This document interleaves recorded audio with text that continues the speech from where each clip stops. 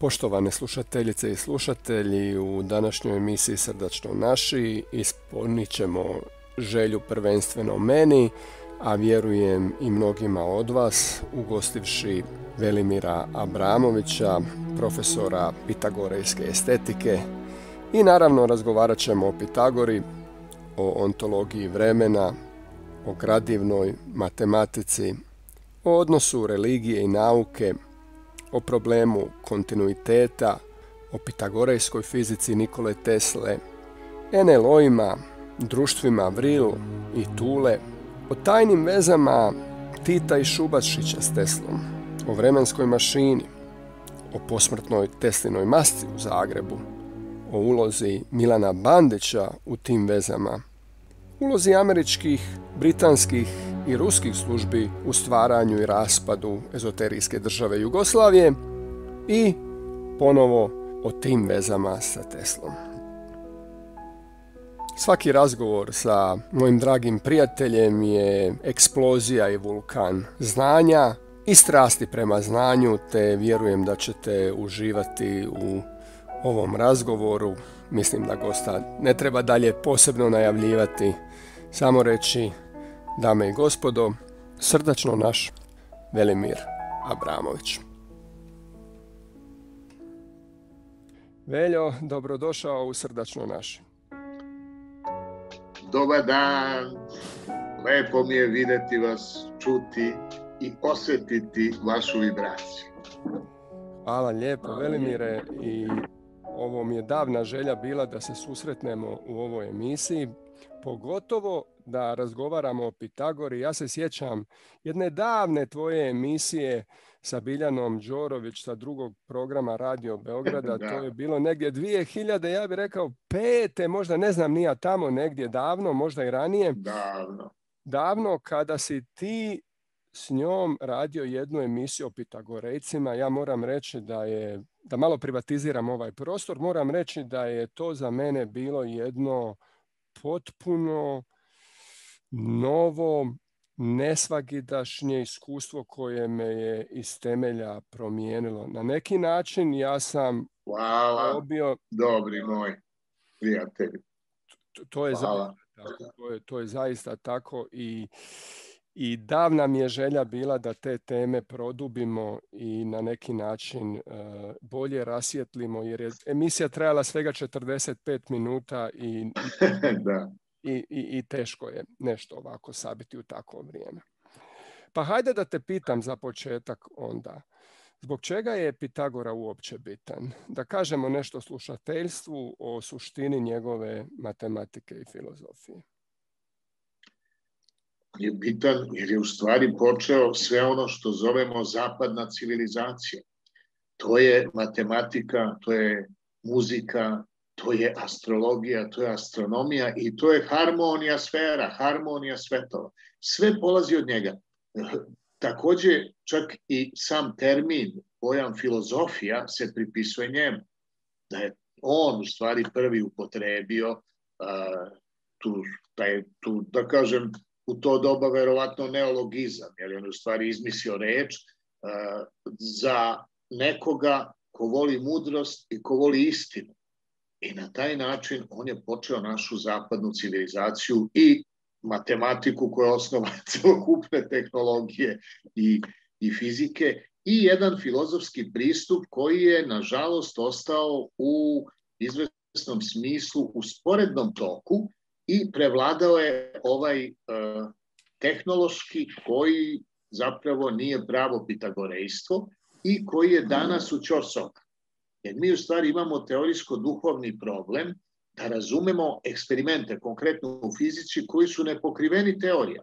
To rade ljudi koji se bave tesinim tehnologijama i rezonancom. Rezonanca je tehničko ime za sinhronicitet. Znači, nema interakcije fizičke ukoliko nema istovremenost.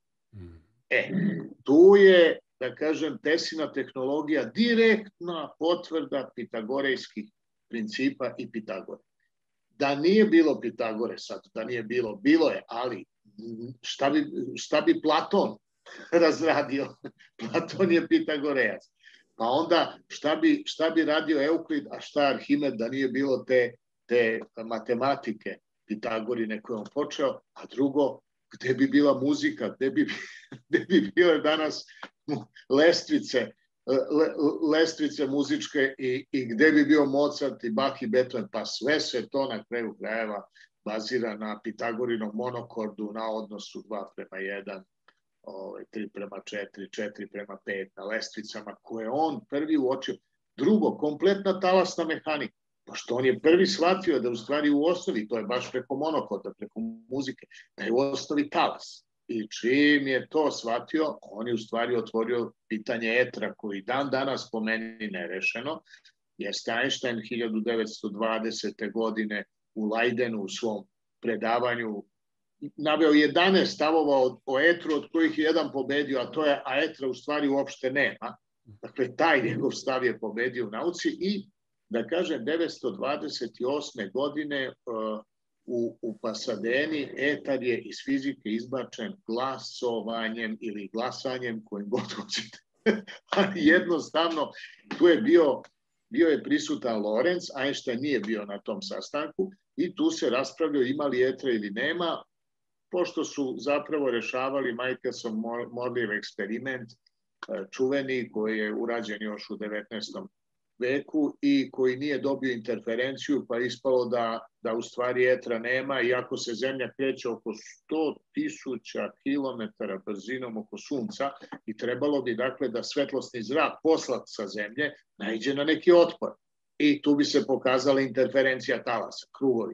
Međutim, to se nije desilo i onda je ta rasprava trajala 20 godina i Lorenz, pošto su njegove načine bile osnova i transformacije bile, bile osnova Einsteinove teorije relativnosti, on se založio za to da se etar izbaci iz fizike kao jedna fantazija, kao flogiston recimo, što je izbačen iz, iz hemije kad je pronađen ovaj, kisik, jednostavno da se, da se to ukloni. I onda su oni glasali, verovali ili ne, i izbacili etar. E sad, ako je to naučni metod, šta da kažem, mislim, tako da, e, da, da je u stvari Pitagora osnova kompletne civilizacije i sad šta je kod njega najvažnije? Pokušaj, e, to da su brojevi zapravo stvari.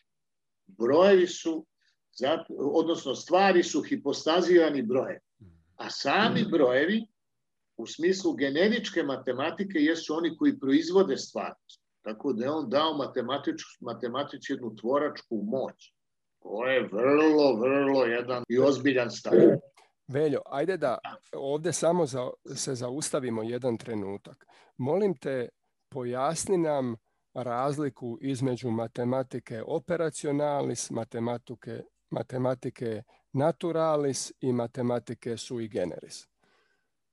E, to je najvažnije, ja mislim, za našu civilizaciju u ovom trenutku, da se vratimo tim korenima. Jer to je u stvari, da kažem, koren tog problema da postoje zapravo tri matematike, od kojih je ova sui generis najvažnija. Jer to je ta božanska matematika koju mi ne možemo da kršimo. To nije matematika ljudska. Ovo što je rekao Kroneker, čuveni, čuveni matematičar, kaže prirodne brojeve je dao Bog, a sve druge izmislio čovjek. A, to je vrlo duboka misla. A sve ima korene u matematičkoj religiji u doba Sumera, u stvari. To je jedno pet, pet i pol tisuća godina pre, pre nove ere.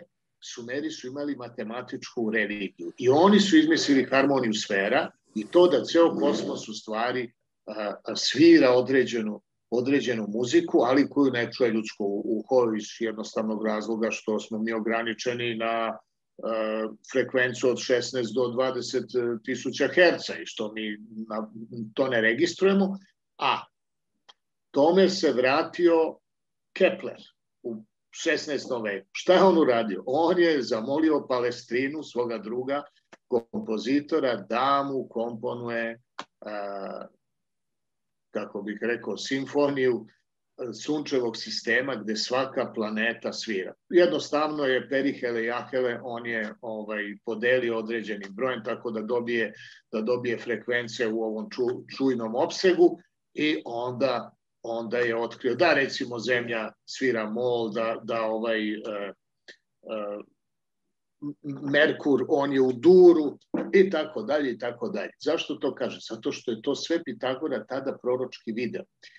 Uzaj budi rečeno, mi nemamo ništa originalno od, od, od Pitagore. Nije sačuvano, nego samo u, u izvodima. A, a u to vreme vrlo interesantno, što je recimo važna stvar po meni, da, je, da su članice Pitagorijskog društva bile i žene, bilo je vrlo mnogo žena. Što znači da Pitagora nije, nije bežao u neku vrstu ekskluzive, nego upravo, u, upravo želeo da postavi univerzalne zakone. Tako da, matematika, instrumentalis, da počnemo od ove najgore, to je, to je ovaj, ova koju mi imamo, to je deskriptivna matematika. Dakle, mi recimo imamo u, u našoj nauci pojam slučajnosti. Međutim, pojam slučajnosti kad se prevede na, na, na normalan jezik, to je u stvari ljudsko neznanje. Odnosi se i na statistiku, i na stohastiku, i na verovatnoću. Jer u prirodi nema statistike, sve je statistika jedan, sve je savršeno. A sa što ljudi ne znaju uslove zbog čega se nešto događa, to, je, to se ne može pripisati prirodi. Ali, ne, pošto ljudi žele da sklone odgovornost sa sebe za neznanje, Oni su čak rekli, kaže, da postoji defekt mase. Kaže, defekt mase gde 95-96% mase u svemiru nedostaje, zbog čega je sada ubačen pojam, pojam tamne, tamne materije i tamne energije, da bi se to nekako izjednačilo matematički, međutim, nije to defekt mase, nego to defekt ljudskog znanja i defekt u stvari teorije. Tako da mi jednostavno smo praktički na nekom početku neopitagorejske ere, gde ćemo tražiti da matematika ima potpuno i to, kako bih rekao, biunivokne, znači dvo, dvo, dvosmerno jednoznačne e, interpretacije svih pojmova sa e, fizičkim entitetima. Znači, fizička interpretacija svih matematičkih objekata, brojeva i to je pitagorejstvo i, i, i geometrijskih objekata. E, To je ta glavna matematika, međutim naturalis. To je jednostavna matematika kojom sam se ja bavio 20 godina. Šta sam ja zaključio? Evo sad ću da iznesem on, svoj deo rada.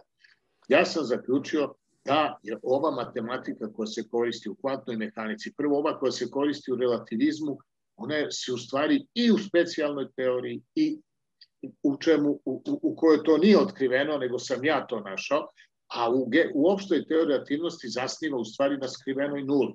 Zna se da je matematičar Friedman našao da je, uh, pošto u algebri mi pišemo opštim brojima, pa se tu ne vidi šta je nula, šta je 1, šta je 2, šta je 3, nego je to ABCD. Pa je onda našao u tim komplikovanim računima u stvari ovaj, Einstein množio nulom, što je, rezultat nije nula, što je ne pravi, ne, e, pošto je, mislim, i Friedman bio jevren, Einstein, onda je Einstein lepo to korigovao. Nije mogo da kaže, ne, vi u stvari, vi ste u stvari Hitlerovci, to nije mogo da kaže, nego je lepo, lepo korigovao teoriju, tako da je izmenio celu, celu kosmologiju. Pa od stacionarnog univerzuma, odjednom je krenuo univerzum koji se skuplja i širi, promenila se cela slika zbog, zbog da kažem, otkrića toga previda ili trika, sad to ne znam, ali u svakom slučaju on je, eh, on je onda morao da uvede kosmološku konstantu. Jer sad dokle se to širi, dokle se to skupa. To sve kažem zato što jednostavno ovo što, što je danas na snazi, znači Big Bang teorija, ona je prosto logički besmisla. Da vi imate eksploziju na osnovu koje nastaje kosmička uređenost i da nemate zakonitost koja tome prethodi, pa šta, šta to znači u logičkom izvodu? To znači da ja imam na, plan, na fizičkom planu eksperiment koji mogu da izvedem, a koji, koji nije predviđen nikakvim fizičkim zakonom pre toga. Znači, ne prethodi mu nikakav fizički zakon, pa to je nemoguće. Zašto? Pa zato što zakoni prethode eksperimentalnom nivou. Znači, ja ne mogu da izvedem eksperiment koji nije po zakonu fizike. Zakon fizike prethodi. Prema tome, Big Bang teorija nema nikakvog smisla. Ona lepo ovako zvuči.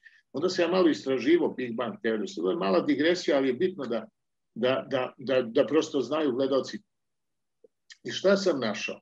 Našao sam da je to, to je prvo jedan sveštenik predložio, a to je ideja kosmičkog jajeta iz koga nastaje nastaje univerzum, pa se jaje naravno razbije, to je, da kažem, analogon eksplozije i onda izađe pilence, izađe taj svemir i to. E sad šta? Onda je to čuo George Gamow, ruski matematičar i fizičar, kome se to dopalo i onda je on krenuo da sada tu ideju matematizira. I on je uveo tu tešku matematiku, čime je odmah uradio, da kažem, elitnu ekskluzivnost toga, to znači prvo jako veliki broj ljudi više to nije da samo njegove kolege.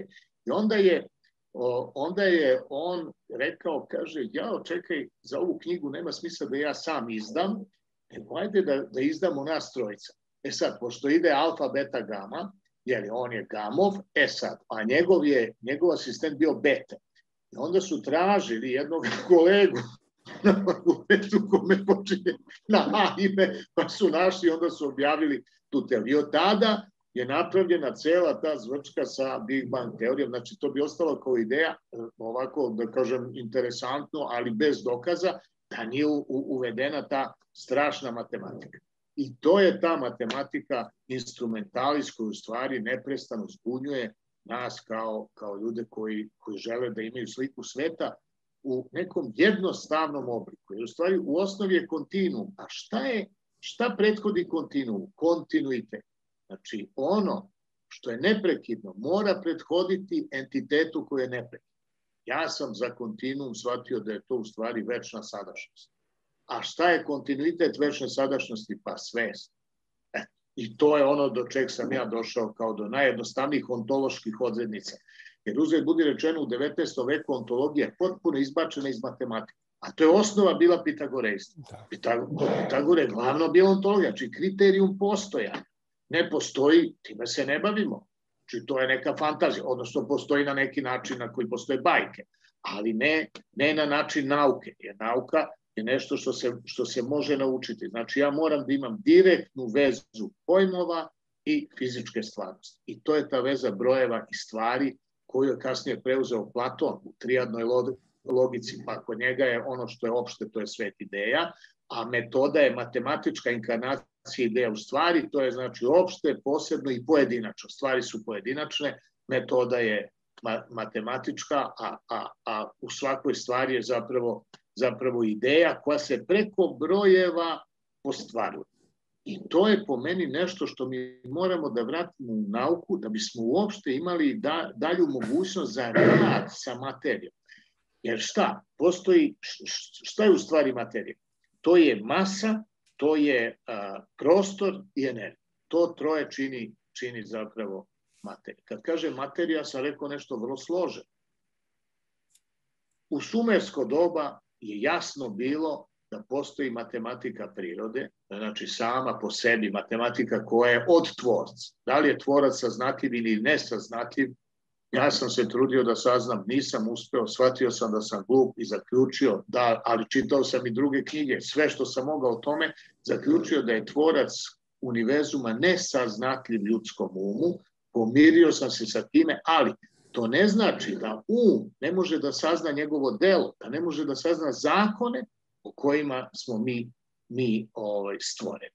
E, to je ta matematika sui generis, a ta matematika je vrlo jednostavna. Šta sam ja uradio? Ja sam jedno, je, ovako.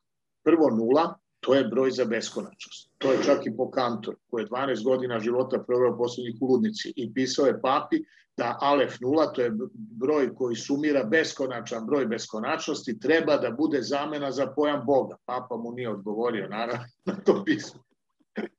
to, kažem, to kažem zato što je on delio jedinicu. Kantor je delio jedinicu. Znači imamo jedinicu, kad je podelimo, imamo beskonačan broj delova jedinice, pa svaki taj deo opet beskonačan broj delova, pa kud to vodi? Ravnu ludnicu, gde on i završi. E, da je delio, a da je shvatio pojam nule, on je izbjegavao pojam nule. Pre, pre svega pojam nule iz Indije. U evropsku matematiku pojam nule uvede, uveo matematičar Stifel, Nemački 1533. godine. Do 16. veka nula nije postojala. Pitagora nije znao za nulu. Arhimed nije znao za nulu. Nisu koristili nulu uopšte.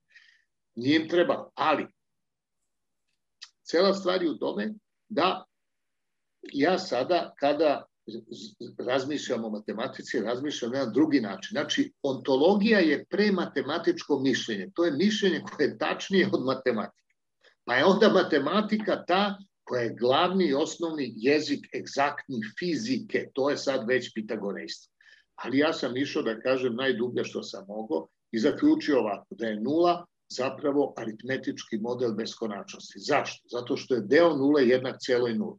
Znači, 5 puta nula je nula, nula plus nula je nula. E, šta je sad slika nule?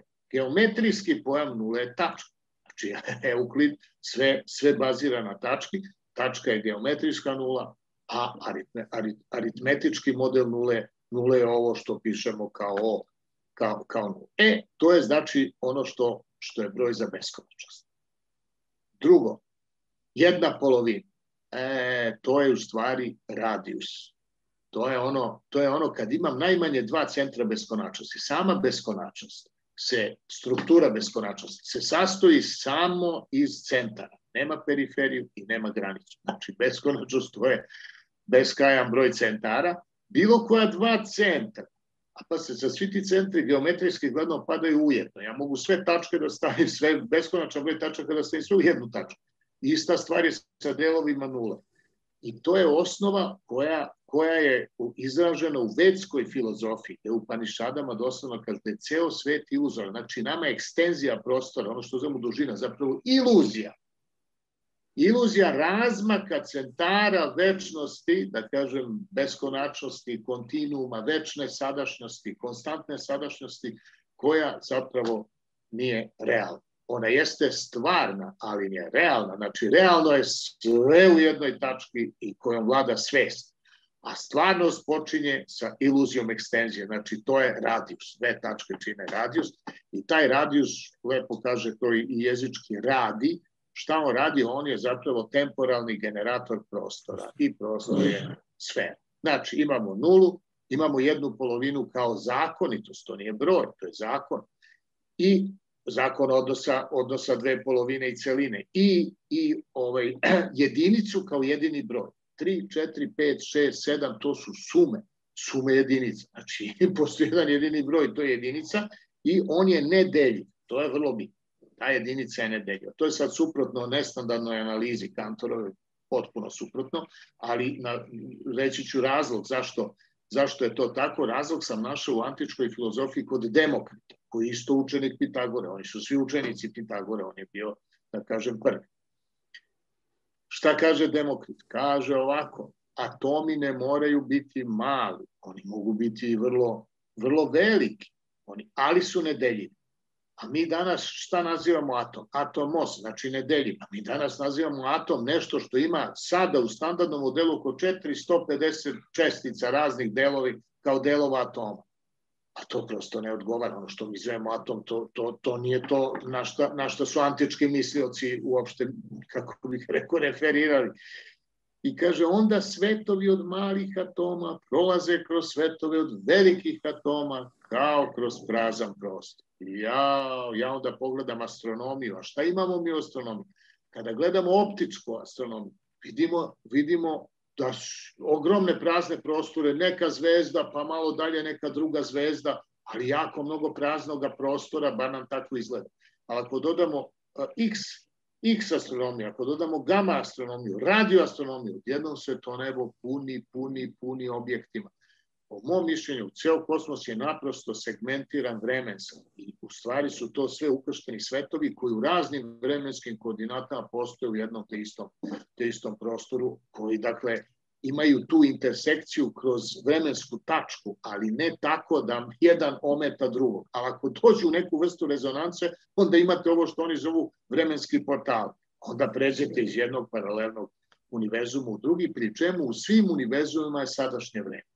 Jer u jednom paralelnom je sadašnje, pređem u drugi, ja sam opet tamo u sadašnjosti horizontalno. Ako gledamo vertikalno, isto tako, odem ja sada u 15. vek, vreme plovom, pa ja sam u sadašnjosti 15. veka, znači ja sam stalno u sadašnjosti i horizontalno i, i, i, ove, i vertikalno. Sve je to, kažem, počeo Pitagora. Ono što, što u stvari je možda najvažnije, što moramo sada da primenimo u nauci kao novu naučnu paradigmu, to je vraćanje ontologije u matematiku. Znači, ne da se matematika razvija kao teorija, kao bajke, kao teorije igara, ne tako, nego da mi svaki matematički pojam možemo da, da kažem, da povežemo sa, sa, sa fizičkim sa fizičkim entitetom. Znači, nula, šta je, šta je po meni nula? Nula to je svest. A šta su sve nule? to je kontinuum, kontinuum večne, večne sadašnjosti. Šta je jedna, po, jedna polovina, koja je pre jedinice, jedna polovina, to je odnos u stvari celine i najmanjeg broja delova, to je dva. Nema manjeg broja delova. Prema tome, to je u stvari generator, ali čega? Generator pi prostora. Znači, sav prostor je, je podeljen u pi. I poslednje, kontinuum. Može na unutra da se deli samo po zlatnom preseku, jer je zlatni presek, to je i, i, i ovaj Da Vincijev kod, i to je zapravo najveća tajna. Jer zlatni, zlatni presek, to je kontinualna proporcija. Dakle, ja ako kažem ovako, 1 kroz fi, znači 1, to je, to je prostor, delim ga, delim ga sa fi jednako je 1 plus fi. Čim je plus, znači tu je kontinuitet. A čim je nešto podeljeno, to je sinhronicitet. Znači, znači sinhronicitet svih delova ja mogu da dobijem kao kontinuitet. Jedan sa n nikad, ne može, nikad, nikad nije jednako 1 plus n. Tako da ako delim jedinicu nekim nekim brojem koji nije fi, što je apsolutno jedini slučaj zlatni presek u kome nemamo rupe u kontinuumu, a, ako ga delimo na unutra. I onda u stvari ja shvatim da sa tih pet elemenata ja mogu da izračunam sve fizičke konstante. Od gravitacione konstante. Ja kad unesem ove elemente, znači radi se nula, polovina, jedinica, pi i fi. Pi za prostor i fi, fi u stvari za masu. Masu, ostatak prostora kad se, kad se stvori masa, to je energija. I to se savršeno sve uklapa matematički, potpuno se uklopi u 14 fizičkih konstanti gde ja mogu da to pojednostavim i gde dobijem sada razloge zbog čega je recimo Newtonov zakon gravitacije tačan, on je nesumnjivo tačan, ali on nema pravu, pravu interpretaciju prostora i vremena. Recimo gde je Newton pogrešio? Newton kaže na primer, e, apsolutno vreme i mereno vreme, on to razlika. I sad, kaže, apsolutno, a, apsolutno vreme teče ne, neuznemireno i kao apsolutno samo po sebi. Dobro. Ja mislim da apsolutno, i mereno vreme, tu se slažem s njim, naravno, to, je, to, to su stvari ovaj, neka kretanja koje mi proglašavamo za vremenske periode, pa ih upoređujemo i tako dalje. To je ok, ali za apsolutno vreme sve u redu, ali kakav tok apsolutnog vremena kad je stalno sadašnjost? Znači, sadašnjost, ako je to beskonačnost, ona je aktualna beskonačnost, ona nema tok. Znači, stalno jedno isto vreme, pa gde on vidi da to vreme teče? Menja se prostor, menja se energija, menja se masa. To da, vreme isto. I onda ja shvatim da kad ja sebe gledam u gledalu sa 10 godina života i sad sa, sa 70, kad ja to uporedim, ja znam da sam to ja, ali meni slika, znači energija, prostor ima, govori nešto potpuno drugo. Ja recimo sebe kad ne bi video sebe kao bebu, da znam da je to fotografija mene, da mi je neko pokaže, ja ne mogu sebe da prepoznam, nema teorije. A u stvari svest je ista. I ja, ja shvatim. Znači, kontinuitet u stvari, to je svest. A kontinuum, to je večna sadašnjost. Ono što se ne menja. Sve ovo drugo se menja, je to odnos delova, a ovo ostaje, o, ostaje tako, tako kako jeste. I zato ja verujem da postoji i život e, duše odvojen od tela, radio se mi na fizičkoj hipotezi duše. Jer mislim, vidite, ne, ne, niti, niti ovaj uh, Freud, niti Jung, niti Adler, niti niko od, od ovih čuvenih psihologa, niti Fromm, niko se ne, ne upušta u definiciju duše. Niko to ne radi. Ima ovaj, uh, kako se zove, Jung, kaže arhetip. Arhetip je duhovni organ duše. Čekaj, prijatelj, niti znamo šta je duh, znamo šta je duša, pa šta si ti definisao? Ti si nama definisao neke arhe slike iz bajke.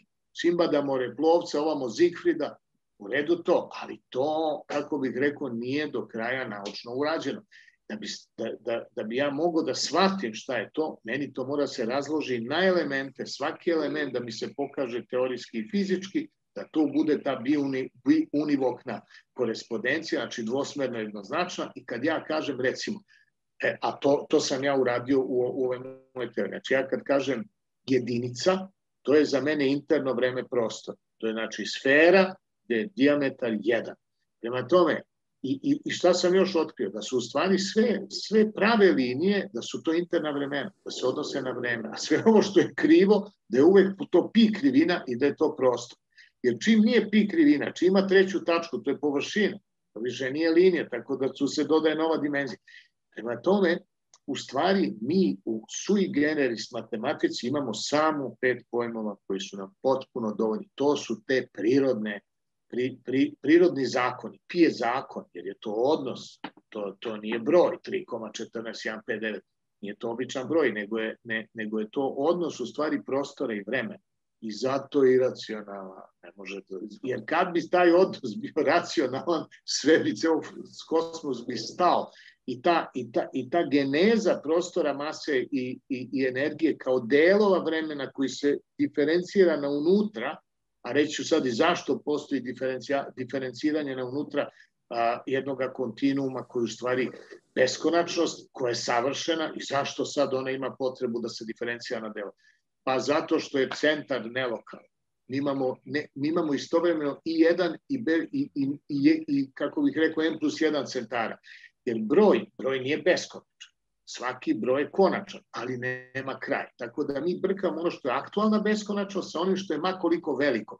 Prostor je makoliko veliki, on nema, nema određenu veličinu, ali nije aktualno beskonačno. A vreme je aktualno beskonačno i zato je nepokretno i zato je stalno sada. da li smo mi onda mogli reći da prostor struji a vrijeme miruje. Apsolutno da. A upravo je tako. Čekaj, ovaj kaže, ne možeš dva puta ući u istu reku. Herakli. E, to je tačno. Tačno. On ulazi svaki put u novu reku, ali svaki put ulazi u isto vreme, sadašnje. to ja dodajem sad malo. Jer, jer po mom mišljenju to što je u stvari vreme osim Svetog Avgustina ko hoće da shvati uopšte problem vremena i šta je vreme, treba da čita ispovesti, konfesione, sve to, to je kršćanska sadašnjost izdala, evo, odmah da kažem, imate Svetog Agustina 12. poglavlje, tu, je, tu, je, tu se govori o vremenu. To je najbolje što je ikada napisano. Kaže, postoji samo sadašnje, sadašnjost prošlih stvari, sadašnjost sadašnjih stvari i sadašnjost budućih stvari i što je najvažnije, kaže, vreme je neovisno od kretanja tela. A šta kaže Einstein? Kretanje tela je utiče na vreme. E, to nije isti. Tačan je Sveti Augustin u, u čisto fizičkom smislu. Tu jeste sad, je, znate, ja recimo sad krenem, ja, Beograd, Zagreb, koliko ima 4 sata. Znači krenem u 4 iz Beograda, stignem u 8 sati u Zagreb. Koliko je sati u Beogradu? Pa 8 sati. Pa koliko je 8 manje 8? Nula. Pa šta, gde je vreme put?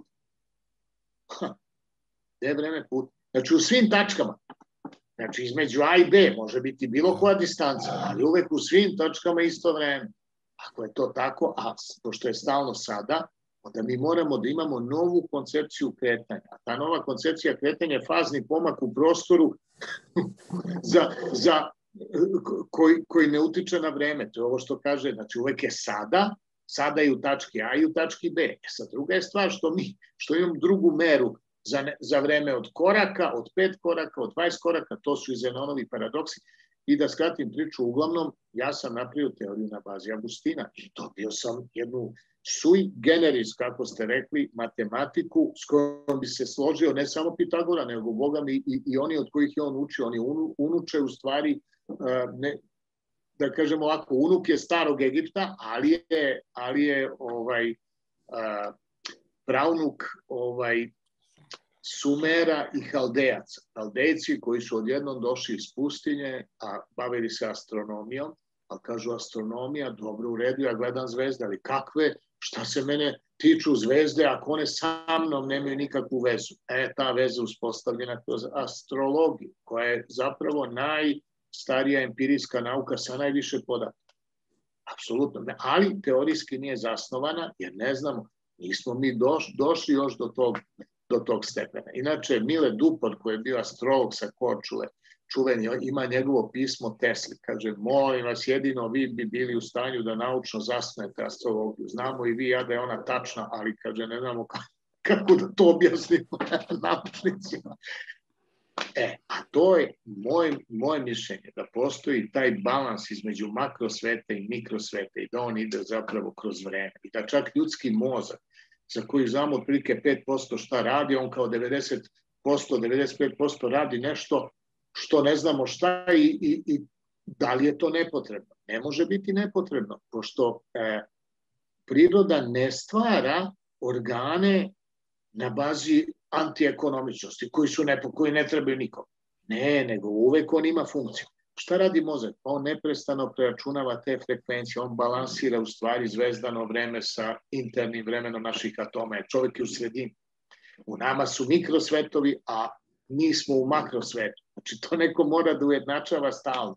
I kad to, kad to da kažem, ujednačavanje počne da proklizava, onda imate odvajanje duše koja je elektromagnetska, od tela koja je atomsko-molekulsko, a i telo je večno, nije samo duša. Pa šta se biva sa atomima mrtvog čoveka? Ništa. Oni nastoje u istom obliku. Samo je pitanje, znači, matematike, ali je druga matematika, drugi, drugi oblik organizovanja. I po, mo, I po mom mišljenju, e, duhovna osnova kompletnog pojavnog sveta je nesumnjivo matematika. O tome nema nikakve sumnje i to je najveća vrednost Pitagorine poruke u stvari čovečanstva. A mi danas šta radimo? Mi smo danas izbacili potpuno duhovnost iz nauke, matematiku smo shvatili kao jezik i bavimo se eksperimentima na bazi tehnologije, tako da ne znamo ni kako radi tranzistor. Kažu u jednom momentu tu ima tunel efeka, to isto imate i kod LED diode, recimo ove svetle. Znači mi ne znamo kako radi naša tehnologija, jer teorije to više nisu u stanju da prate, kao što ne mogu da naprave kontrolu fuzije i tako dalje, ceo niz, ceo niz stvari. Zašto to kažem? Pa zato što mi mora se vratimo Pitagorejzu. Zapravo to je jedini način da bismo mi mogli, kada ponovo a, promislimo osnove celokupne civilizacije, da ovladamo tehnologijom na jednom višem nivou. Jer problem današnje, današnje nauke, recimo veštačke inteligencije, to je problem etike osnovni problem etike. A mi šta imamo u nauci?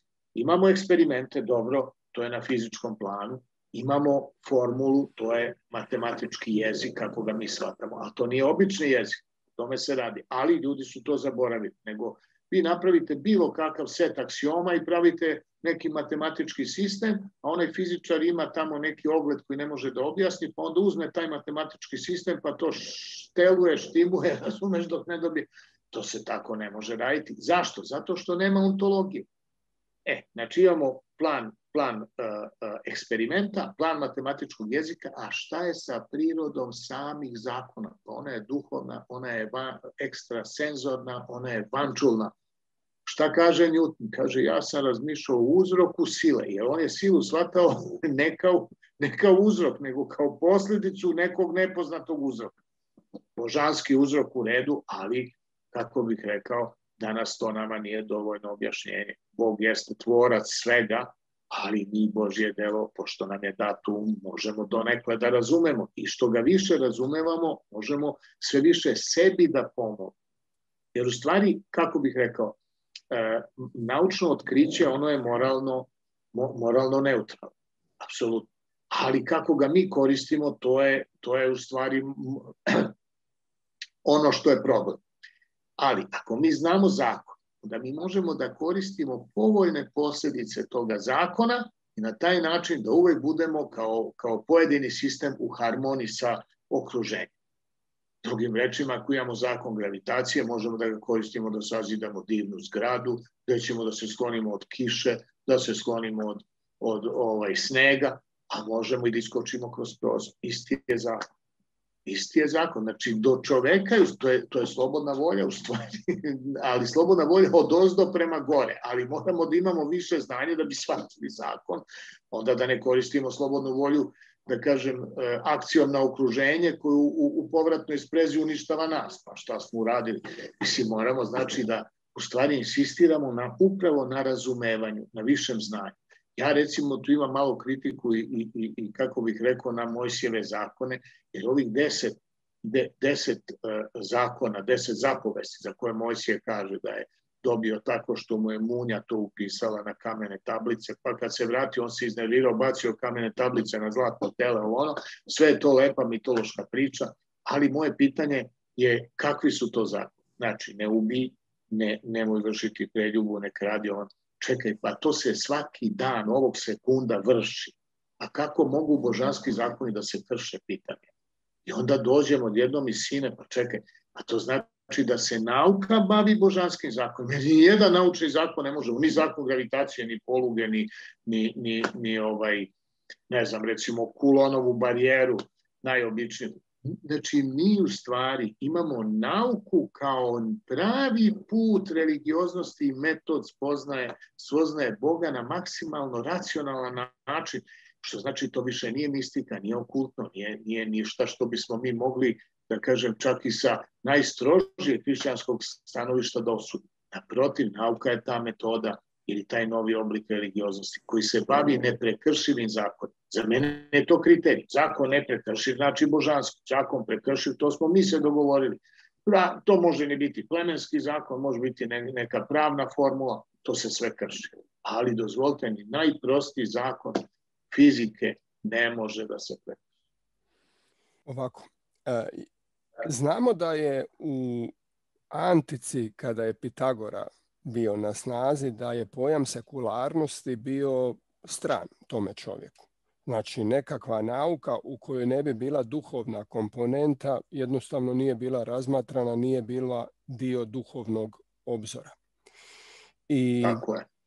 čak to vidimo i u njegovoj biografiji, zato što je njegova biografija bila vezana uz egipatsko svećenstvo, kasnije za kaldejsko svećenstvo, pa je i on sam bio smatran vjerskim prorokom i imao je svoju duhovnu školu. Da pač, između Tako. njega i, i recimo Isusa imamo mnoge paralele. Ajde da nabrojimo neke. Obojica su začeta bezgrešnim putem prema pričama. da. Jel tako? Da. Očevi su im dobili a, uputu da spolno ne opće sa svojim družicama, ženama, dokle ne bude rođenje.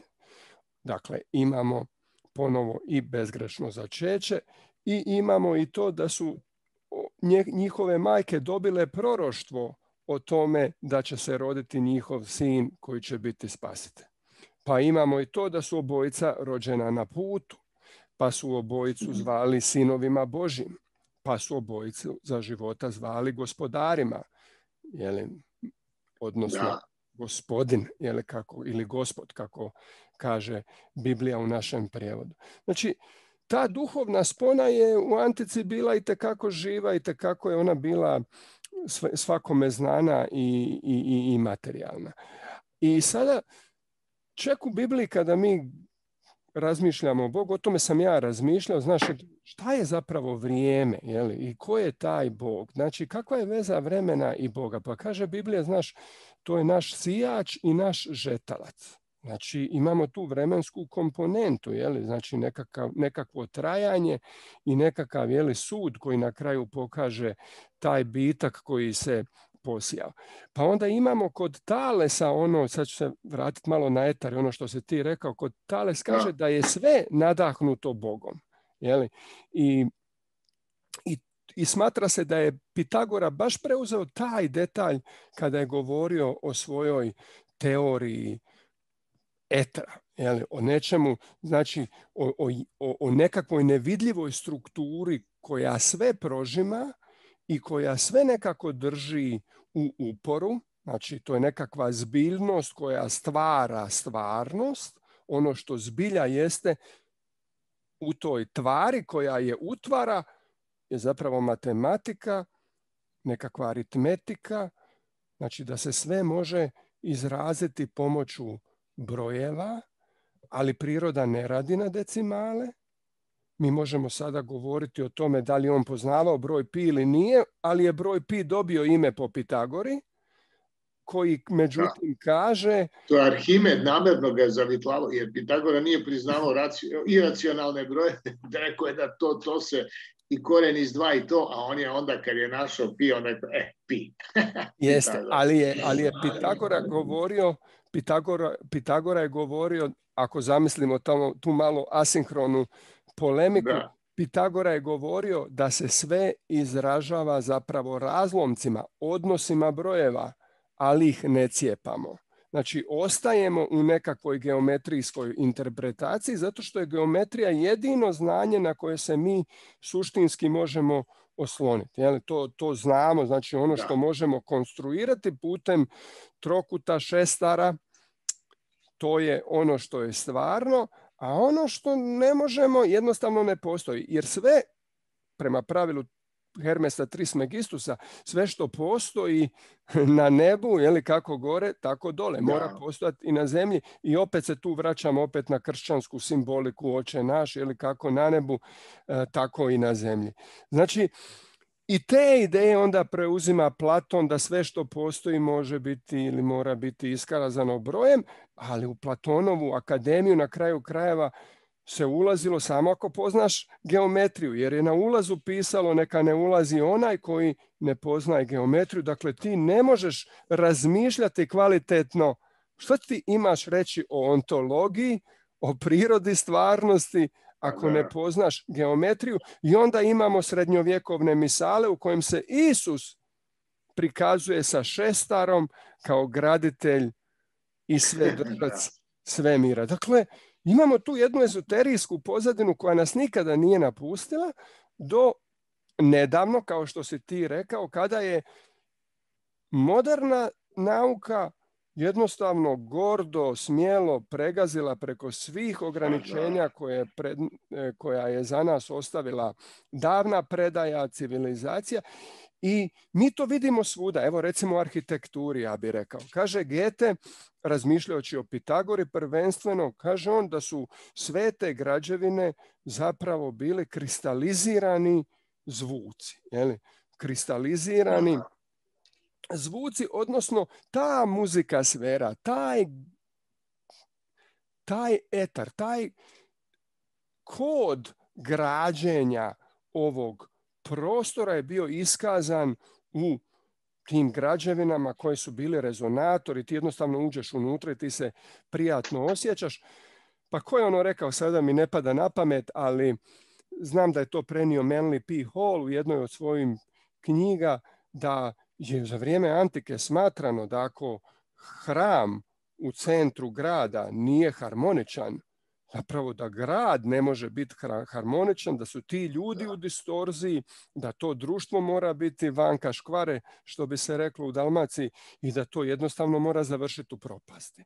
Eto... To se nekada znalo i poštovalo. Recimo Fulkaneli u misteriji katedrala on priča upravo o tome i posle to Brancusi, jedan vajar, vajar prenosi kao sjajnu ideju da je, da je u stvari arhitektura zamrznuta muzika i to je suština stvari. To je, I to je da kažem eto od, su, od Sumera preko Pitagore preneto u srednji veku misterije. A onda su oni bili sjajni, kako bih rekao, fiziolozi, isto tako graditelji katedrala, imali su u, u, u katedrali jednu tajnu sobu gde je bio proizvođen zvuk jako duboko i nije čujan za ljudsko uho, uh, sub kontra C. Taj sub kontra C ispod 16 Hz. I onda kada recimo se drži propovjed o, o ekstazi, o u Isusovom uspeću, onda se pusti subkontrace i ljudi se čudno osjećaju, se osjeća telesno, celim telom i odjednom dođu u neko izvanredno stanje.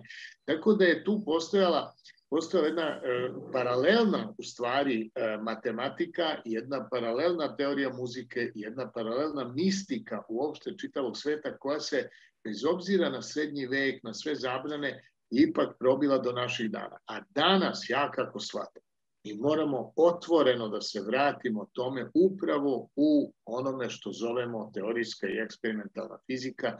Inače, naš ovakav kakav je svet nema budućnosti, jer tehnologija, ona nema budućnost bez razumevanja i etike.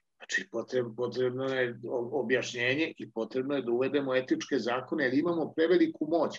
Ništa nema gore od spoji moći i neznanja. To je katastrofa, onda, to je to uništenje civilizacije. Znači, e, a moć već imamo preveliku u odnosu na znanje koje, evo, sto godina, sto godina mi nemamo ni jednu novu koncepciju vremena i prostora, ništa, sve to stoji i sve se vrti u Einsteinovom krugu, a kažem vam lepo da je da je ovaj, i, i, i to sam pokazao lepo, da je on u specijalnoj teoretivnosti sve radio preko skrivene nule i zbog toga je izveo dilataciju vremena, nikakvo vreme se ni u čemu ne dilatira, stalno je sadašnjost u svim tačkama, nego se menja ono što zovemo prostor. Znači, prostor je taj, to i Zenon pokazao svojim paradoksima. Samo što to mora, mora danas da se potpuno drugačije uradi, odnosno matematički da se prezentira plus eksperiment. E, to ja pokušavam pokušavam da uradim ako uspem u tome. Što se tiče objašnjenja, to imam i to sam sve uradio, ali eksperiment mi fali i evo trudim se da, da to uradim. Čekam što kažu Boži blagoslov. Znate šta? E, naučno otkriće. To je umetnički akt u nauci. Naučno otkriće, ono ne ide iz obrazovanja. Možeš ti pročitati deset biblioteka da ne otkriješ ništa u nauci. Mislim, prosto da si, da si veoma učen ali ne, ne, ne otkriće, nije to. Konkretno Michael Faraday, koju on ima školu? A on ima 15 dana što ga je majka vodila u jednu sektu. Nikakvu školu, ni dana, nikakve škole. Počeo potpuno novu oblast fizike. Revolucionarno novu, magnetsku indukciju, elektromagnetsku indukciju. Znači, nije, čak škola može da blokira, ono može u stvari to obrazovanje da, da, e, da zaustavi protočnost kanala ka višoj svesti od koje dolazi saznanje. Jer ja ako dobijem ideju, ja onda posle samo, samo učim da bi, da bi usavršio neku metodu za ostvarenje te ideje, ali ne mogu ideju dobiti iz nižih, iz, no, samo, samo, samo iz viših sfera, ne mogu iz nižih sfera dobiti ideju, iz, iz nižih sfera dobijem znanje, a znanje nije dovoljno za otkriće. Tako da u stvari mi stojimo pred totalnom promenom paradigme savremene nauke upravo u pitagorejsku paradigmu. U što se, uzaj budi rečeno, Tesla uklapa savršeno. On ima samo samo viziju i ima, uh, i ima tehnologiju, nikakvu teoriju, nikakvo objašnjenje. Teorija je u stvari pitagorejska. Za to sve što on radi. To kad pogledate sve konkretno, svi ti njegovi izumi su zasnovani u stvari na, na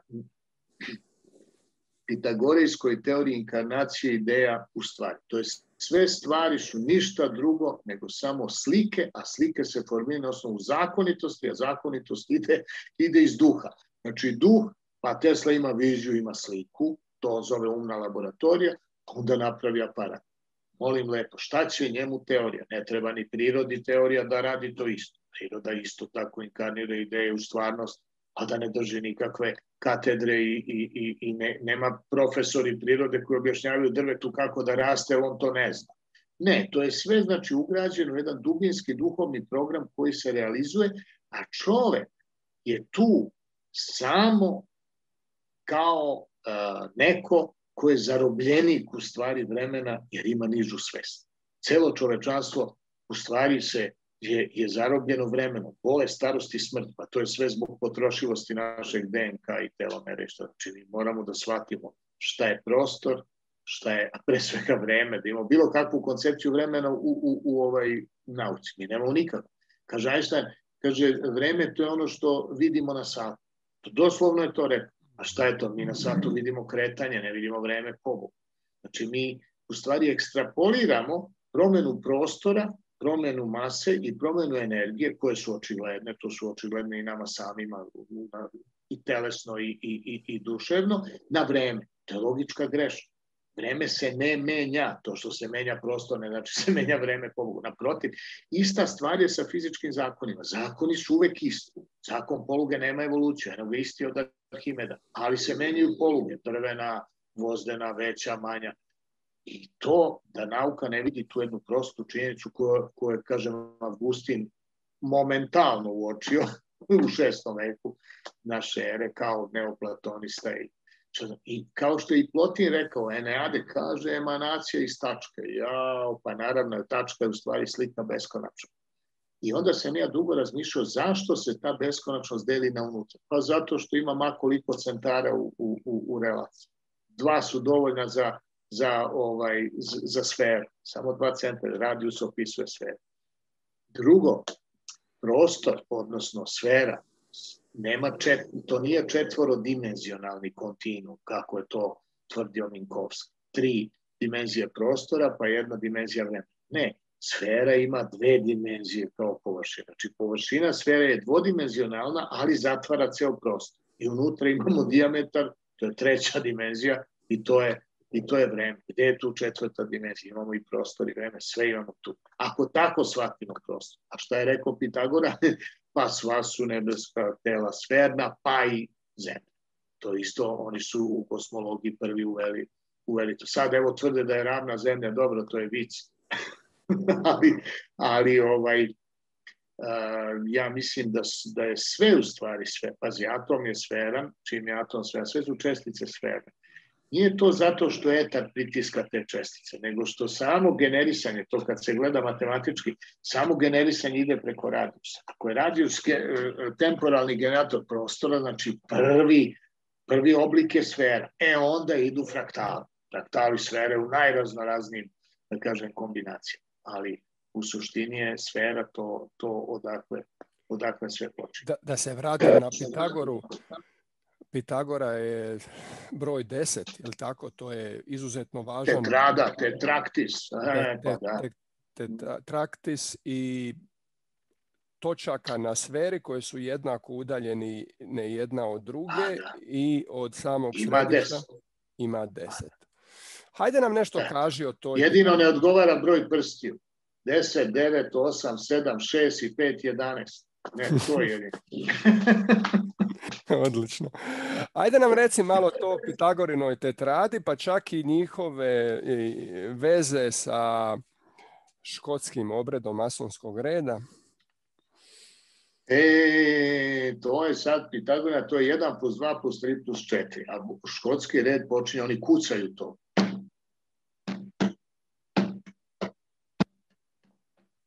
Kad to otkucaju, može da uđe, pre toga ne može, znači da je nešto bar nešto, ne, nešto baš shvatio. E, to su, da kažem, u stvari tajne pitagorejstva. Oni imaju jedan veliki deo javnog učenja, ali imaju jedan deo koji je, koji je da kažem, za njih za njih same učenike na samom početku bio okultan, ali posle su oni ulazili, u, ulazili u te tajne kako ih je, da kažem, verovatno sam Pitagora ili njegovi najbliži učenici u, u, uvodili. Jer, to je sad stvar. On je ovaj zapravo smatrao da svet i ne postoji uopšte na čulnoj razini. To je posljedica. Prema tome, ako imamo, ako imamo recimo eh, brojeve koji rade trougao, Znači, ceo svet je po njima bio od određenih trougova.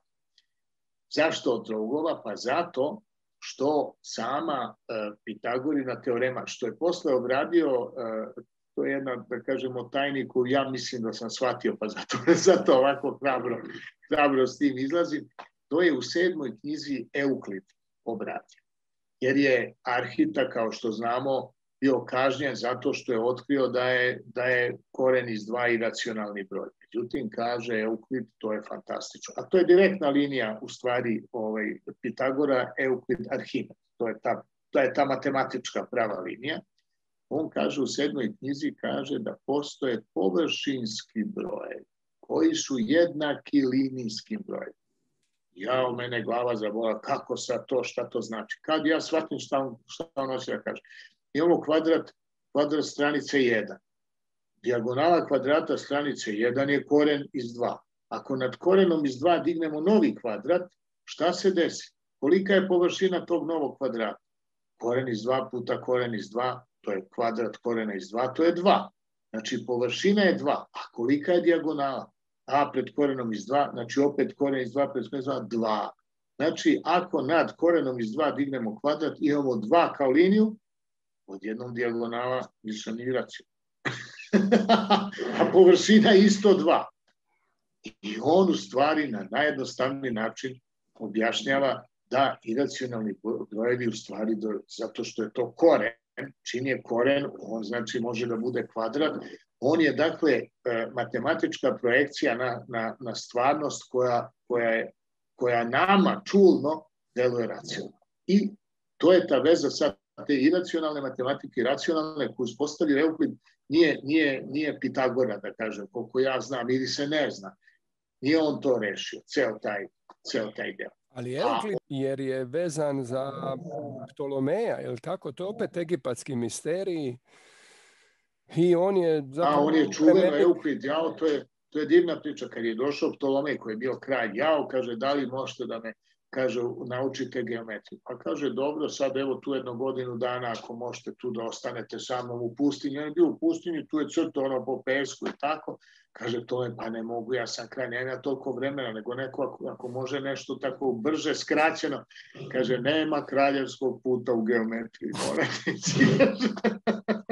kaže, to je... Dakle, jest, nema prečaca.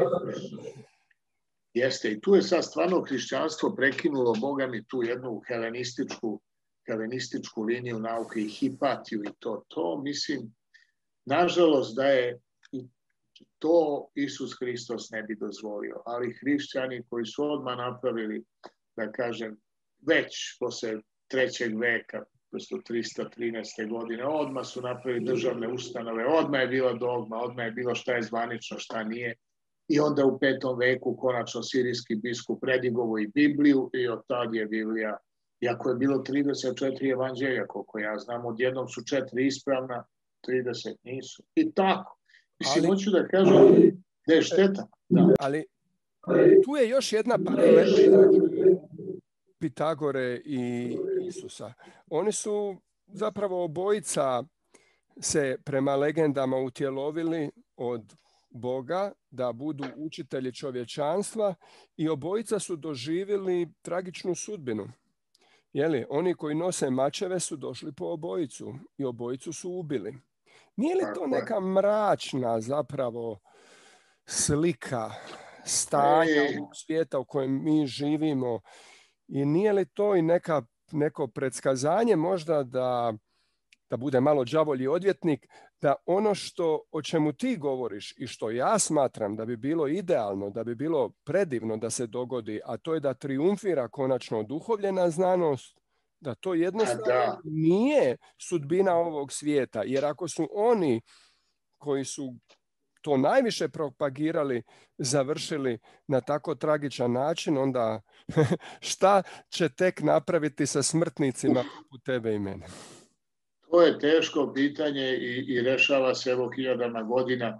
Stvari pitanje dualizma, da li je Bog čisto i apsolutno dobar ili su u pravu ovi mazdaisti koji kažu ili Janus rimski ili Abraksas, to je Bog koji ima, kako bi rekao, alpar, jeli, podjednako i dobru i zlu stranu, jer to su, to su i naši bogumili ovde u Bosni, to su, to su i, i Katar jednim delom smatrali da onda protestanti, da je zlo deo, deo ovaj, ljudske prirode, neodvojivi deo.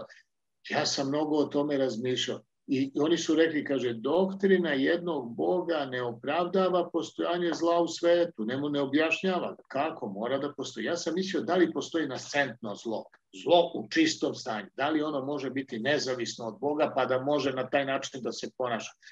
I došao sam do sledećeg zaključka da je ono što je, što je nedelanje, što je apsolutno dobro, ja bih rekao odmah da je to sadašnjost, koja je apsolutno dobro jer, jer je nepokretno. Znači, sve ono što je, što je u apsolutnom miru, da je to u stvari u fizičkom smislu, ja sad govorim fizičkim terminima, da je to zapravo apsolutno dobro. Jer gde nema akcije, ne može biti ni zla.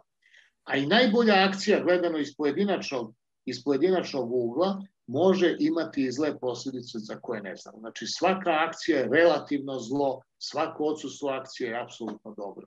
To je to sam došao do toga. Vidim se to slaže i sa, bud, sa budističkim ovaj, iskustvima. Tako da u stvari može se, može se reći da kažem da je, da je ovaj da su Pitagora i, i Isus bili žrtve tog relativnog zla, a zapravo su predstavljali apsolutno dobro, ali apsolutno dobro ni u delovima, nego samo u celini koja je beskonačna. Ja ću se opet malo poigrati uloge đavoljeg odvjetnika, pa ću reći ovo.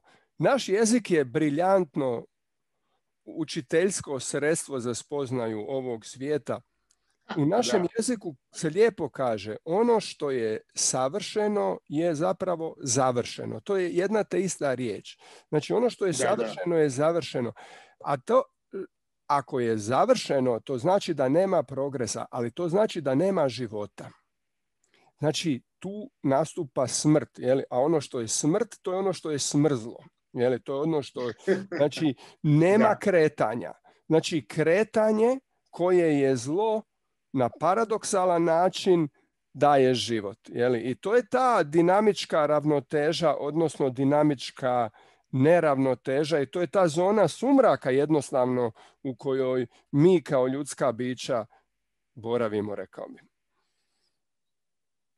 Pa to jeste u stvari pitanje šta je osnova celog sveta. Ako je osnova beskonačnost, onda tu nema života, nego čista svest. Ne, ne život u smislu samoorganizovanog sistema koji izmenjuje energiju sa okolinom da bi opstao.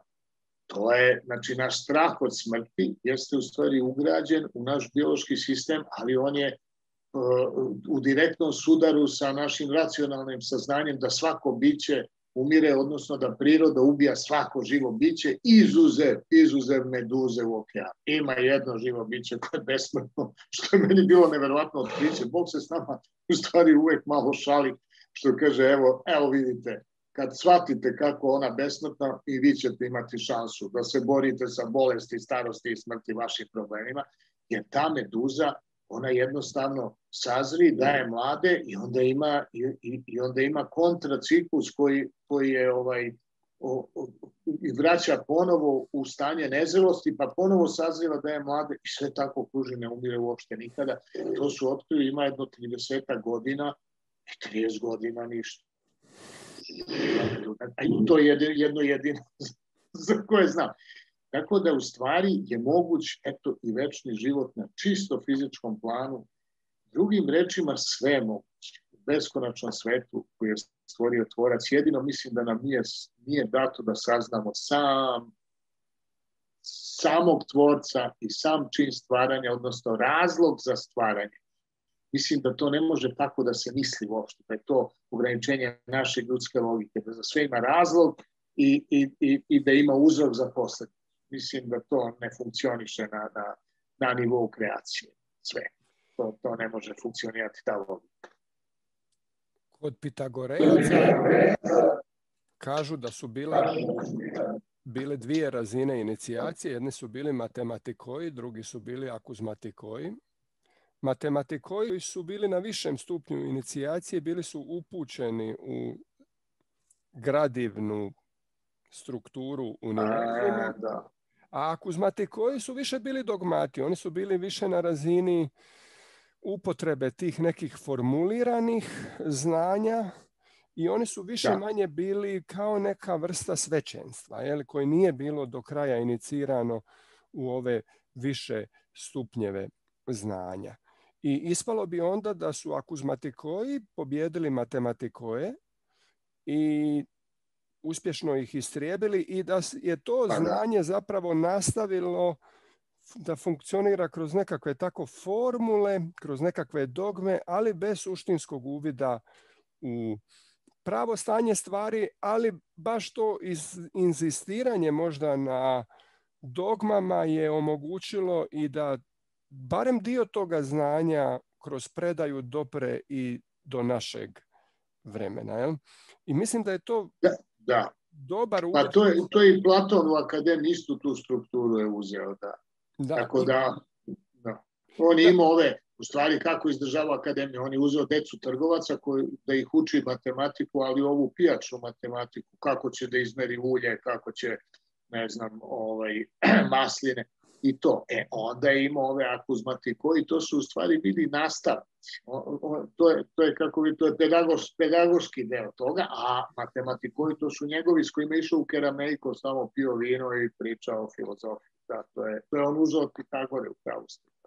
Da rekao bi ovo, znači ta oduhovljena nekakva nauka kroz tajna društva je nastavila dalje. Recimo, rekao bi neko je oklevetao Njutna, znaš, ono, Newton se uzima kao otac moderne materialističke fizike, a on je bio sve osim toga, osim materialist, li 97%, 98% njegovih sačuvanih rukopisa su se zapravo bavili religijom, alkemijom i takvim stvarima i on je pisao zapravo na hermeneutički način.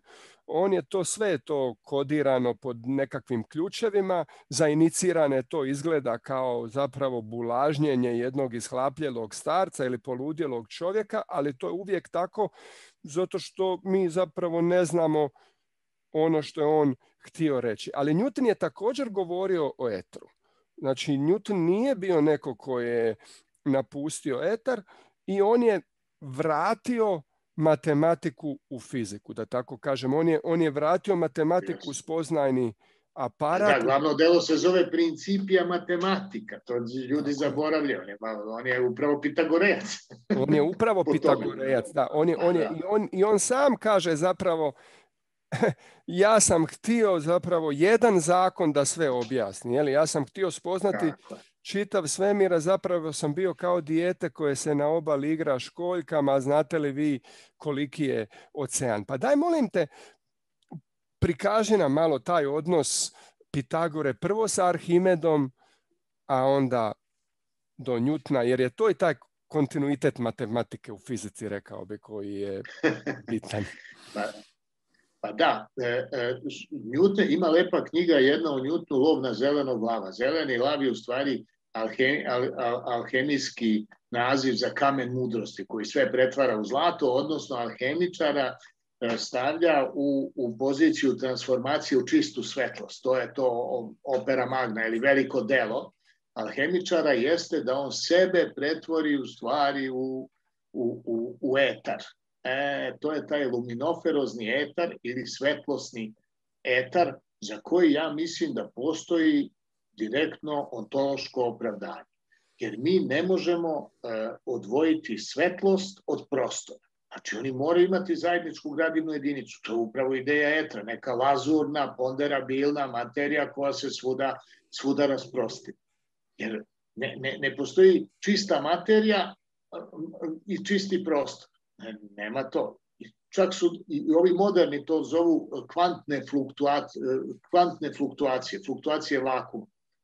To je u stvari, da kažem, sve e, zamena terminološka za pravi problem, a pravi problem je to što mi moramo da razložimo sve na vreme, prostor, masu, energiju, da sve to matematiziramo jednoznačno i da onda vidimo kako se to, kako se to organizuje u ovaj, u ovaj materijalni svet. Uh, Newton je pisao, ja mislim, oko 2000 stranica on imao svetom trojstvu. On je preko stotinu Biblija, jer nije mogo da shvati kako sveto trojstvo.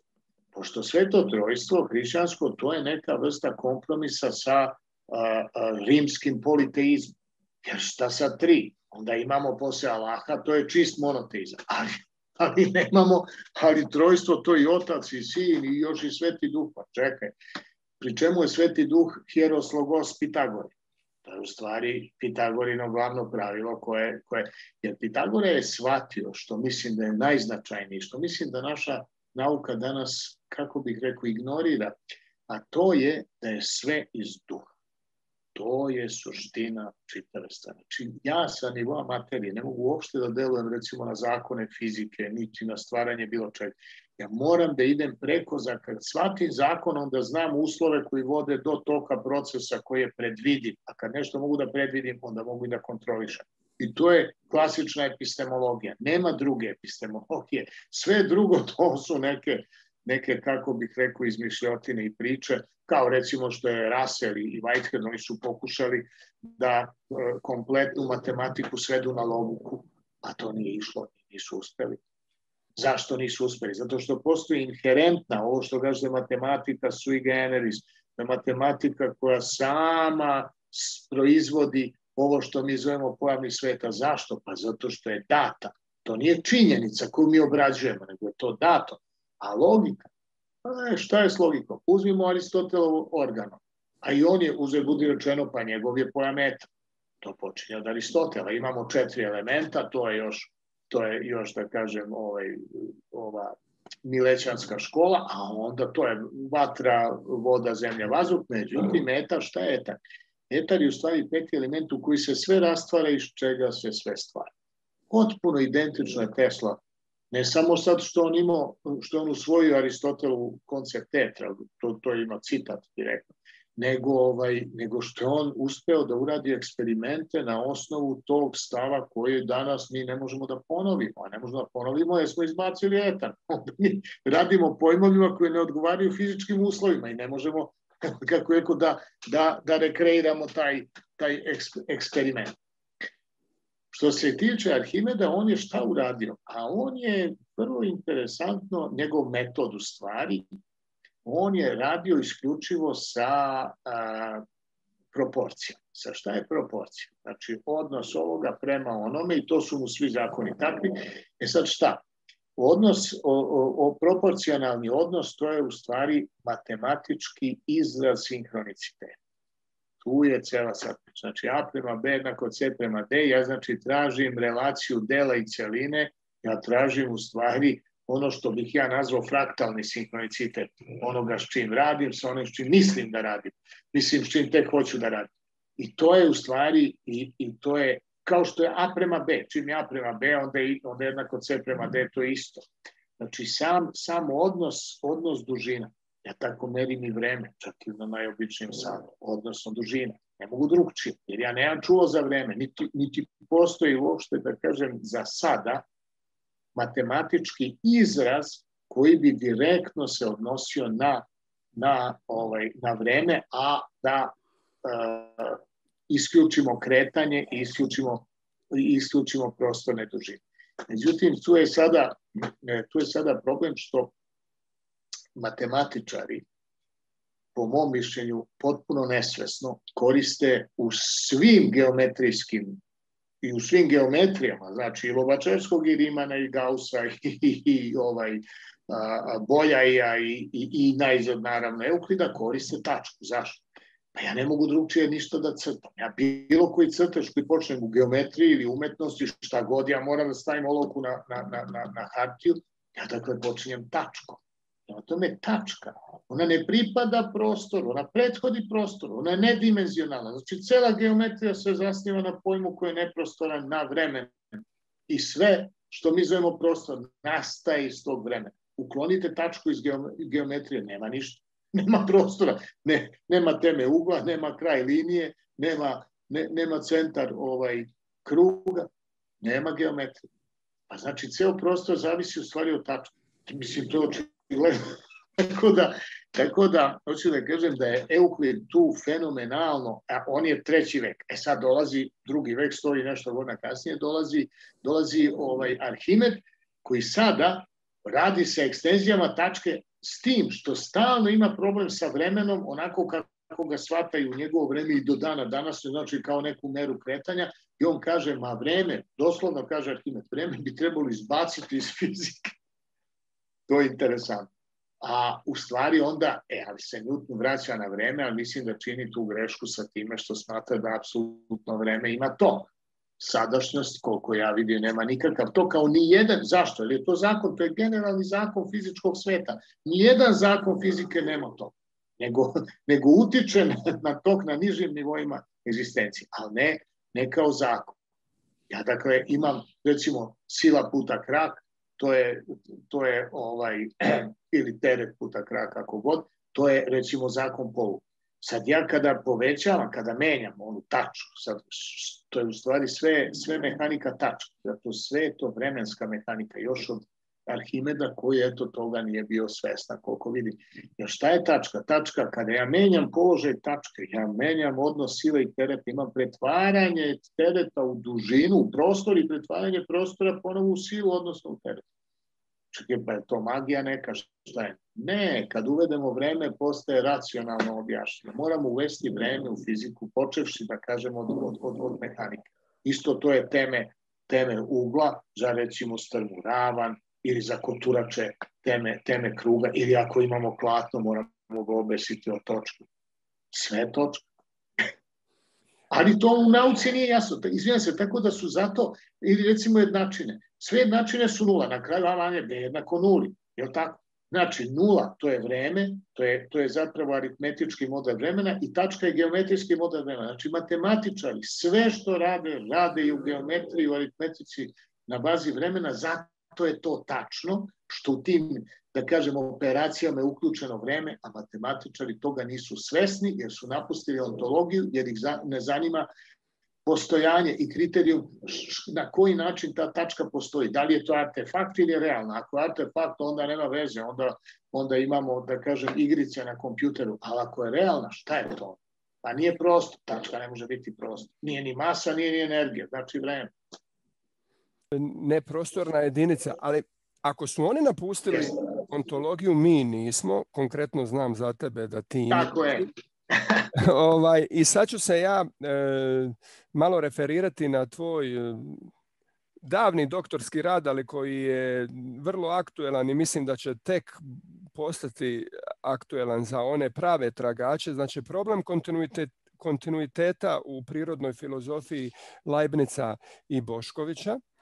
Zato što ovo sve o čemu se ti govorio zapravo se e, nastavlja i kod Njutna, koji se također bavio mehanikom, apsolutno, i kod Arhimeda, i kod Leibnica, pa onda ćemo vidjeti kod Boškovića, onda ćemo vidjeti kod Tesle, a recimo ono što... Dakle, linija, da.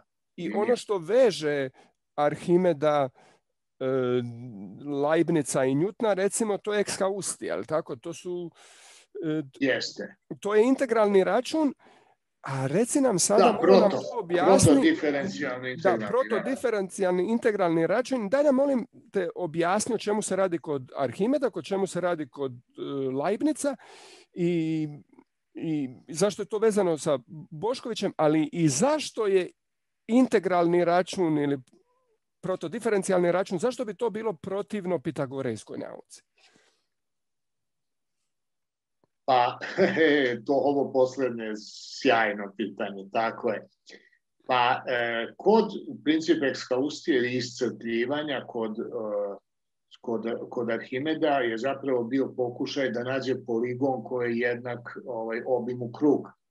Pa je on imao sve više i više ovih e, stranica, međutim u nekom momentu to se više nije moglo nije moglo crtati i to je neki moment gde u stvari sa taj poligon treba da pređe u krug. To je sada nastavio Leibniz, odnosno, odnosno ovaj, Newton. Eto, bila je ta rupa od koliko? 1300 godina.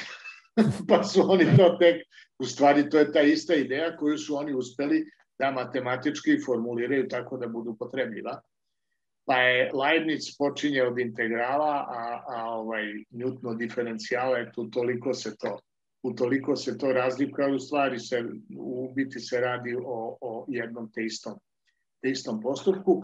Šta je tu problem? Pa tu je problem što diferenciranje ne može da se nikada završi. To je procesualna matematika. Ako diferenciram, nema kraja tom diferenciranju. Prema tome ja moram u nekom momentu da zamislim da sam ja u stvari sa diferencijala, diferencijala prešao ovaj, na, na nulu, odnosno na kraj toga što diferencija radi su uvek o, o, o krivuljama i da onda to, to integrišem. I to je stvarno jako mnogo unapredilo, da kažem, da kažem računanje, ali recimo Koši, jedan ozbiljan matematičar, koji je rekao da, kaže, ali onda, onda tu tu kaže ako recimo, ako recimo diferenciramo prostor, prostor i vreme, onda šta je delta t, ako mi delta, delta t stavimo kao u, u, u imenilac da je nula, onda je to nama besmislen izraz. Tako da tu je takođe problem, to ću da kažem, problem u stvari koncepcije vremena. Tu, ka, ako bi oni nulu shvatili kao vreme, to nije ni Leibniz uradio, Leibniz ima definiciju vremena i definiciju definiciju prostora. Za, za ovaj defini, definiciju prostora kaže to je poredak koegzistencija. Jer, zašto? Jer ako imamo liniju A, B, onda A i B moraju koegzistirati, inače linija ne postoji. Znači moraju postojati u, u istima istovremeno. E, a za, a za vreme je rekao da je to poredak nejednovremenih događaja. I po meni tu je on govorio o, o merenom vremenu, a ne o sadašnjosti i to je prosto, kako bih rekao, jedna, jedna definicija koju daje dublje, da je dublje razmislio, da je doveo do kraja, verovatno bi uveo vreme u diferencijalni račun, onda bismo imali jednu matematiku koja više nije aproksimativna, nego koja je točna, a priroda radi samo sa točnom matematikom ne radi nikakve aproksimacije. Tako da, da hoću da kažem, to je sad naš zadatak da taj račun zamenimo jednim savršenijim računom koji bi se zasnivao na sui generis matematici koja bi imala kompletnu tu ontološku o, o, o, ontološku, da kažem, ovaj, a, to, to, to ontološko objašnjenje, odnosno, od, odnosno tu ontološku korespondenciju sa fizičkim objektima. Đavo je u detalju. To je njihov, e, ma de, pa tu je, pa da. Jer je njihov račun nedovršen zapravo. On, on teži prema konačnom rezultatu, ali on mu nikako ne može doći i tu je nekakav pa da. absurd, jeli? ali to je nekakva greška u razmišljanju i možda je tu bio u pravu Pitagora kao i Euklid. Ja se sjećam, moj otac e, je bio profesor nacrtne geometrije u srednjoj školi i na fakultetu u Splitu i nacrtna geometrija je takva da ti moraš u njoj sve konstruirati. Znači nema računanja, nema aritmetike. Znači sve ono što je što se rješava, rješava se konstruktivno. I to je jedna fantastična vježba za um i vježba za stvarnost zapravo. Nekakva izvanredna vježba provjere realnosti. Sad imamo AutoCAD, sad imamo i programa. Sada i da. I kao i SPSS, mislim, u nauci se koristi statistika više nego ikada. Ako pitaš one koje koriste šta zapravo, ne znam, Spiermanova radi, on ne, ne znamo mi to mnogo. Ali da se vratim sada um, mome ocu i u jednom razgovoru kažem ja njemu u čemu je problem sa Lobačevskim. Kaže on meni pa ne znam u čemu bi bio problem kod Lobačevskog. Ja kažem pa kako je on stvorio svoj geometrijski sistem? Pa kaže on tako što je doveo u pitanje jedan Euklidov teorem, a to je da se dva pravca koja su paralelna ne, ne sjeku. A ja kažem ja njemu, a šta je on rekao? Kaže on, pa on je rekao da se oni sjeku u beskonačnosti, jer ti kad to zapravo postaviš, što zaista tako izgleda. I na osnovu toga, budući da to tako izgleda, mi stvarno možemo operativno nešto koristiti i, i, i nešto proračunati. Slično kao u integralnom računu. Znači, to je operativno korisno, ali suštinski nije točno. I kažem ja starom, ja kažem, tata, ali gdje je problem u tome? Pa kažem, pa problem je naravno u tome što to nije tačno. To zapravo, znači dva pravca se nigdje ne sjeku. Jel tako? to imamo sada problem, to je taj đavo u detalju. Ono što, da, da. To je simulakrum, jel tako? To je definicija, to je filozofska definicija simulakruma. Jel? To je kao onaj Faustovski ugovor koji smo mi sad potpisali sa đavolom. On će nama sada omogućiti da riješimo nekakve probleme, ali on će doći po svoje, on će doći tamo, znači mi moramo vratiti ontologiju u nauku, mi moramo vratiti da. cjelovitost. Ono što si ti govorio, taj problem kontinuiteta, znači priroda ne radi na decimale, je tako? I, ne. I mi moramo se vratiti jednostavno tome, tim razmjerima, odnosima realnih stvari i proniknuću u bit. Na kraju krajeva i Tesla je tako radio. Tako jedna, jedna paralela sa Teslom je i Pitagorom je ta i izgleda su i po Teslu došli, je tako? Ovaj, ali je, ali je jedna od e, glavnih paralela po meni ta što obojica nisu ostavili nikakve naručite zapise, teorije, nego tek su kasniji interpretatori pokušali proniknuti unutra, ali mi znamo, recimo da. konkretno od Gorana Marijanovića, našeg prijatelja, da je kaže on, jeli, kod Tesle, Teslini uređaj, znaš ono, kilo na kilo, kilo bakra s jedne strane, kilo bakra sa druge strane, vrlo jednostavna matematika, nije koristio integracije. To je Goran rekao, to je konkretno, pošto on je to radi. Uzme se kilo tanke žice i kilo debele. Od ove debele se pravi primar, a od ove tanke sekundar. A ako su te mase jednake, rezonanca je perfektna, ne treba ništa drugo. Dakle. Prosto, pa da, a to niko tako ne radi. I stalno se muče sa tom rezonancom. Kaže, a, a on je to našo kod Tesla. Tesla to, pa misli. Ali ti, ti sada kažeš, pazi, sjećam se toga. E, da. Tesla nije ostavio nikakvu teoriju, nije. a praktički je izumio čitavu našu civilizaciju današnju. Yes.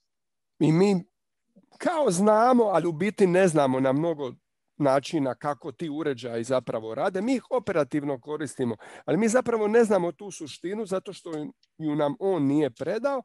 Pa, znaš kako, imamo... dobri. Evo vidi, izvini, recimo e, obrtno magnetno polje, ko on imao viziju u parku u, u Budimpešti, šta ja znam, ne može da se izvede iz Maxwellovih jednačina.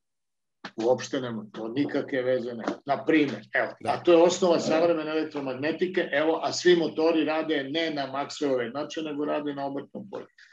Eto, konkretno baš u vezi Eto, Imamo sa druge strane Einsteina koji je ostavio teoriju relativnosti koja je stotinu godina i više nakon toga i dalje teorija, ništa Čekaj, nije izvini, napravljeno. Samo, izvini što prekida, Einstein nije nikad ušao u laboratoriju, on je samo pričao iz fotelje, nikad, a Tesla nije izlazio iz laboratorije i, i u Kotatskoj sobi je pravio eksperiment.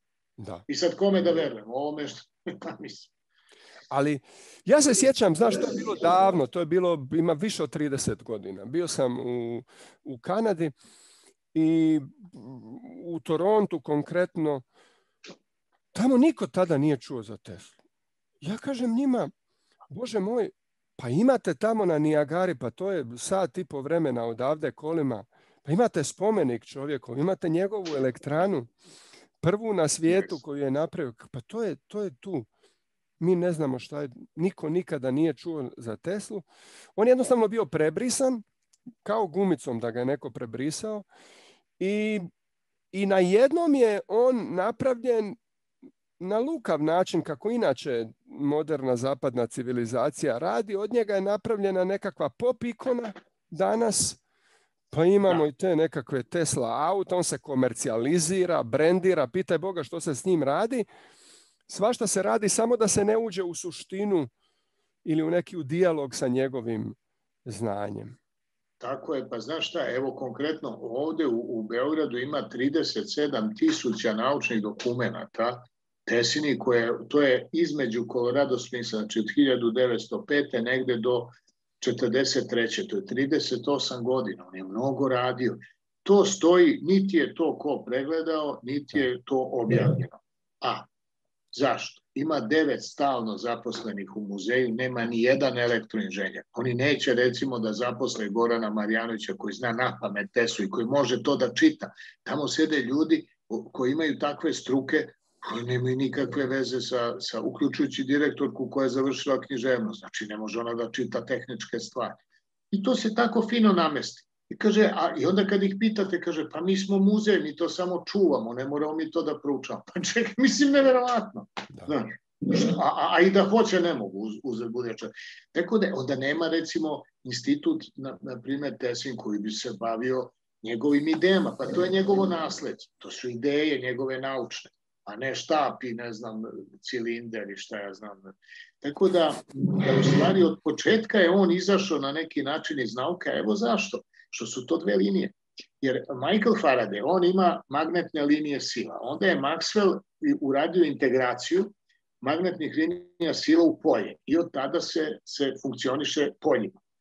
Tesla nikakvim poljima nije funkcionisao, nego je funkcionisao, funkcionisao samo ovaj potencijalima, sve je tretirao preko Bernoullijevih jednačina kao, kao fluide i imao je vrlo precizne distance i to sve po zlatnom preseku. Evo Goran i, i, i ovaj, imamo i, i druga Peđu, oni su uradili sve ove mere iz Colorado Springs.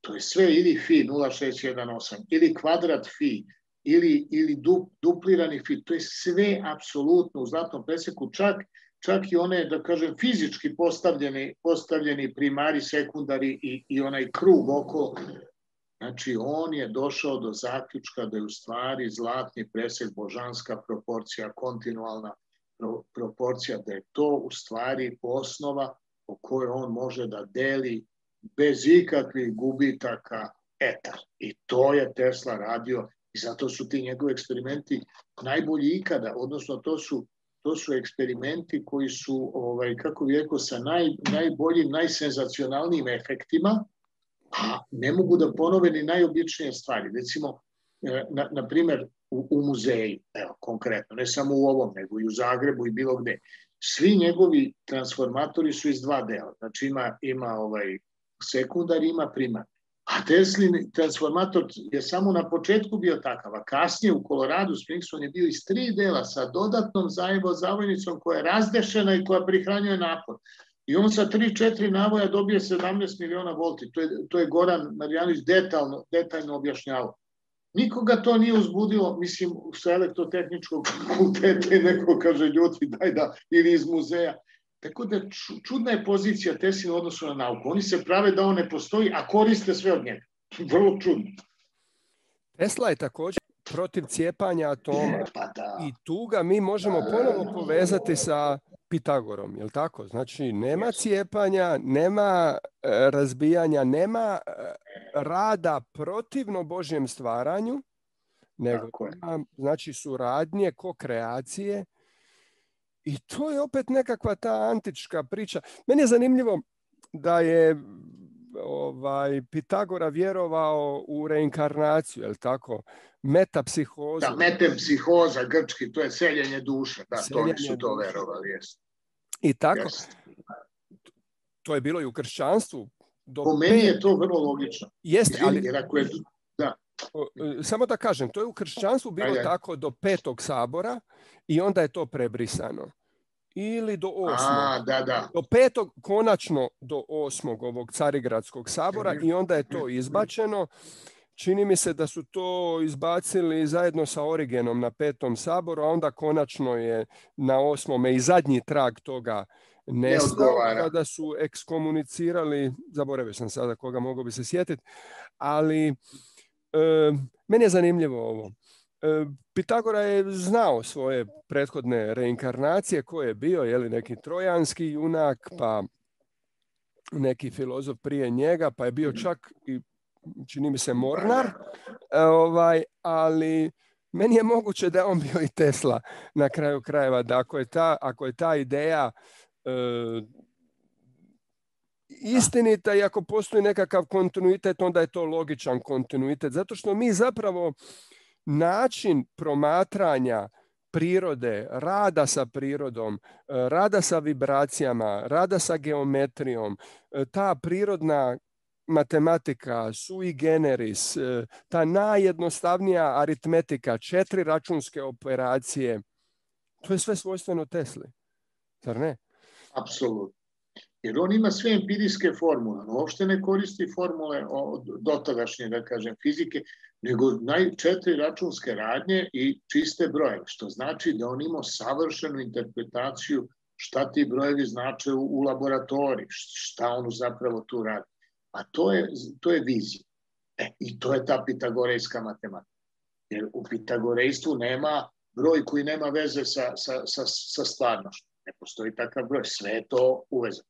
E, a kod nas u ovoj sadašnjoj matematici postoje brojevi koji su čista fikcija ili čak pogrešno shvatanje brojeva. Recimo, kaže e, realni skup, skup brojeva, na primjer, tu je uključen, uključeno i fi, a uključen je i broj pi. Kako? Broj pi je zakonitost. To nije, nije, nije to običan broj. Postoji samo jedan broj, to je jedinica. Mislim, broj pi to je odnos. Čim je odnos, to je zakon. To je zakon zapravo za, za ovaj, stvaranje prostora, za obrazovanje prostora.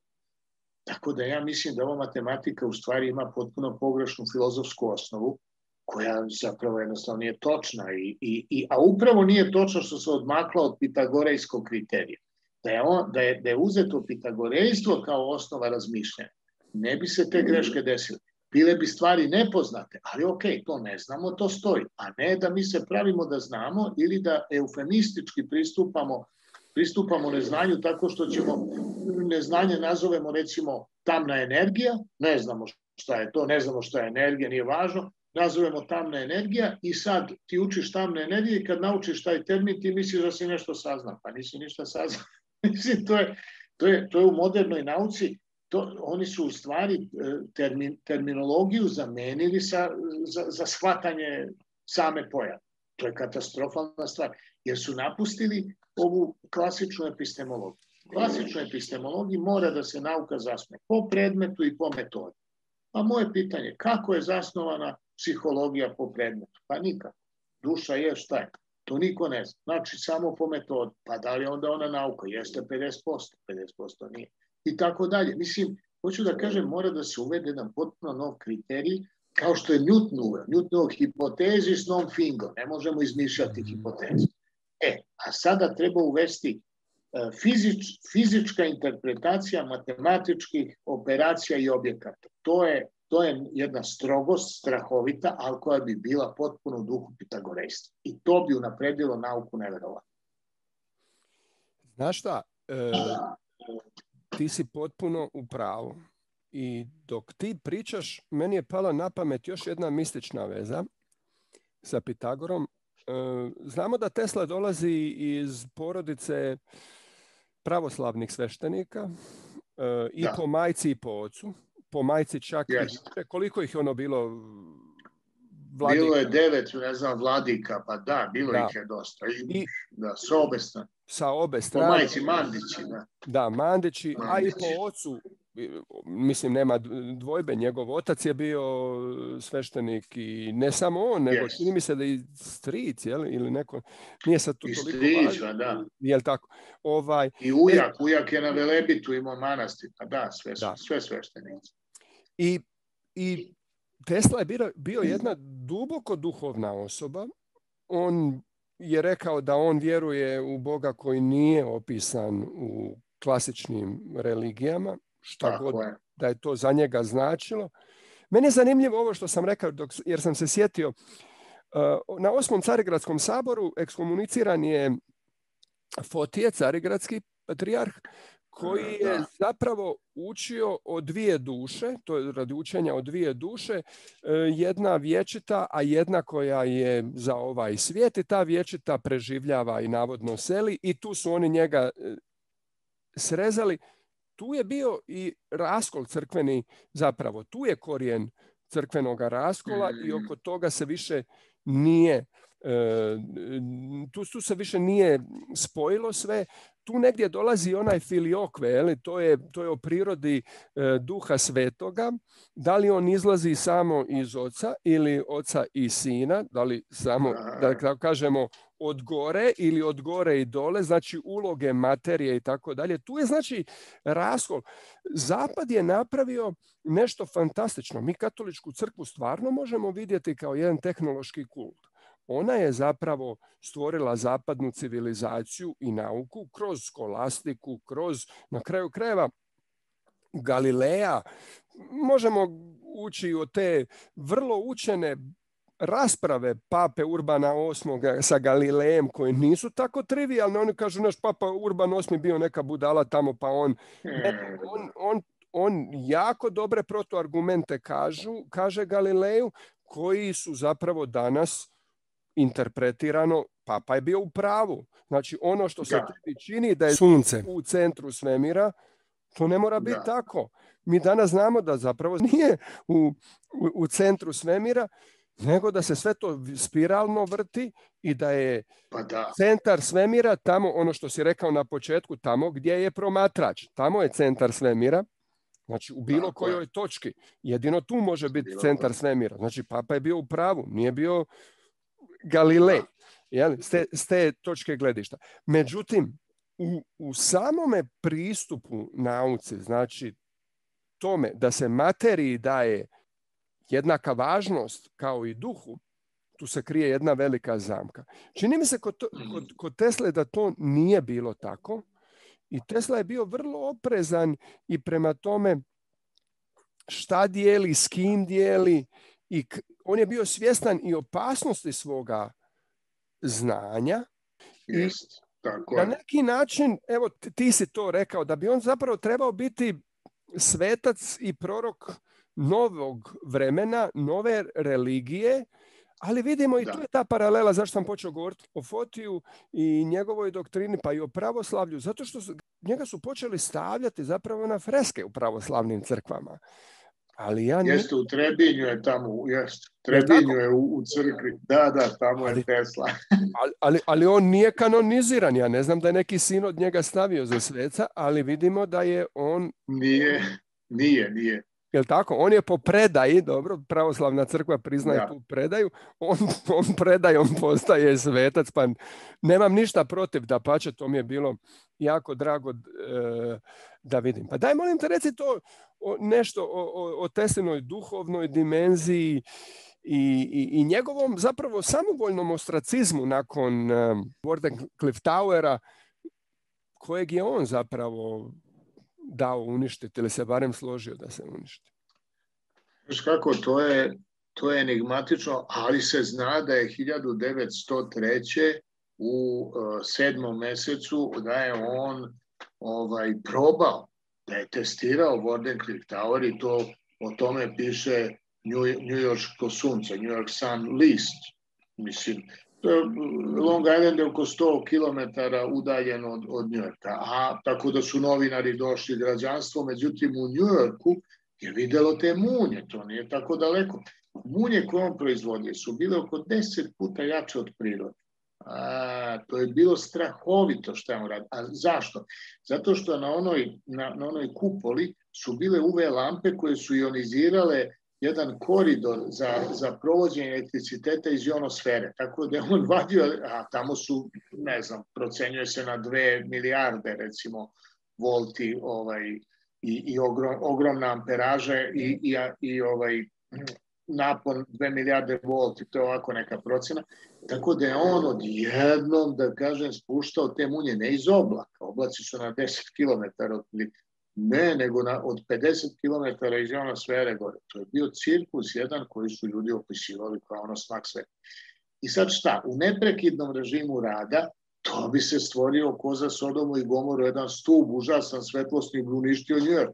Tako da on video da je to, to je, to je jedan razlog zbog čega je prekinuo eksperimente, a drugi razlog je bio taj što koliko bi on celu zemlju uzeo u, u, u rezonancu, on je mogao da digne potencijal cele zemljine kugle, jednostavno da neprestano pumpa energiju i da diže frekvenciju. I šta bi se desilo? Onda bi zemlja krenula da menja putanju oko sunca, onda kraj svega. To je, to je bila najopasnija, da kažem, a, mogućnost ove Wardenclyffe kugle. Tako da je on po meni vrlo racionalno rekao, ok, on je to hteo da iskoristi samo da da reciklira energiju onosfere kroz zemlju i da mi samo bodemo antene u zemlju imamo na celoj zemljinoj kugli struju, što nije bio problem uopšte tom tehnologijom uraditi, ali ovaj zloupotreba je bila takva da i s obzirom na ljude, mislim, koji su bili okolo, da on to nije, ne bi ni mogao da odbrani i on jednostavno prekinuo te eksperimente. Evo po čemu to znam, vrlo konkretan podatak. Oni svi kažu 150 tisuća dolara mu je dao JP Morgan i šta znam. To je naravno nisu današnji dolar, nego ondašnji. To je, to je negde oko 15 miliona dolara bi to bilo u, u današnjem. Ali to, ok, i s tim je on to sve sagradio. Westinghouse, kuća mu je dala današnji General Electric, oni su dali ovaj opremu kompletnu u onoj kući dole i, i dole, u, pošto dva sprata ima iz, iz, ispod ove, o, ove kuće, što je radio Stanford White, tadašnji arhitekta, koga su uzeli, bude rečeno, ubili kao na, na terasi Madison Square Gardena tu gde, koju on takođe gradio, a ovu kuću je kao projekat poklonio Tesli.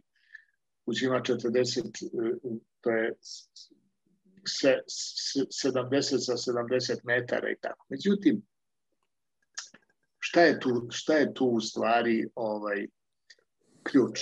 Tesla, Tesla je uh, uh, hteo da napravi ne samo tu jednu kulu, nego znači, da ne bi morao da sve šalje sa jedne tačke, da jedna bi bila u Amsterdamu, jedna u Kinu, jedna jedna na severnom, e, druga na južnom polu. Znači sa tih pet kula on je mogao da, da čitavu zemlju ovaj, obuhvati energetski i sve da, da, ovaj, da šalje struju kroz zemlju. Znači ideja potpuno besplatne energije, jer zemlja je u stvari magnet, magnet koji rotira, znači jedan beskrajni generator u stvari struje i nabija ionosferu elektricitetom plus, plus što, što ovaj se ionosfera ionizuje od sunca. Tako da problem energije ne bi postojao nikakav. Ali u tom trenutku Tesla nije mogao to da sprovede i nije hteo. Dobije pismo od šerfa, njegovog, njegovog asistenta. Gospodine Tesla, znam da vam je Morgan otkazao, otkazao dalje finansiranje, ali mi imamo naručbu za ove medicinske aparate. Tesla ima i tri patenta za, za dasovalizaciju posle kasnije nazvano, ali u stvari to je njegov, njegov patent. I, ovaj, I kaže, imamo naredbu od, od prilike za oko 100 tisuća dolara. Čekaj, znači on je mogo 100 tisuća dolara svojih para, ne treba više Morgan. Znaš šta kaže Tesla odgovara? Kaže, ne, u ovom trenutku to me ne interesuje. Tako odgovara svom asistentu koji je primio poslovna pisma ponude. Znači nije hteo. I drugo, eh, 1917. godine, 4.7. znači na dan, na dan ovaj, na, na, na dan nezavisnosti. Da, na, na, na glavni dan Amerike, da kažem, dan, na e, dan e, na dan borca Jugoslavije. Pa da, Tito je to štimalo prema američkom ovaj, danu nezavisnosti. Ok, pazi, tad je rušena kula. A to je bila nedelja 11 sati. A u nedelju 11 sati dolazi vojska da ruši kulu na dan nezavisnosti tesnu. Mislim, to su neke... E, u tom trenutku ne, neke koincidencije koje nisu slučajne. I sad šta? Tesla u tom trenutku, to je 17. 917. on izlazi iz voza u Čikagu ide, ide u mornaricu koja mu omogućava, da kažem, neku opremu i to za njegov dalji rad. On je 20 godina eksperimenti su u američkoj vojsci, specijalno u mornarici i jedan deo u Daytonu, tamo u Air Force bazi. Tako da u, u vazduhoplovnoj bazi. Nije on bio bez laboratorije nijednog sekunda. I hoću da kažem ovo, i on izlazi iz voza i dobija telegram, kaže kula se ruši. To on uzima telegram, pročita, stavi ga u džep, nikad nije komentarisao rušenje kule. Znači, sledeći, a davo je intervju svemu i svačemu. Znači, to nije hteo.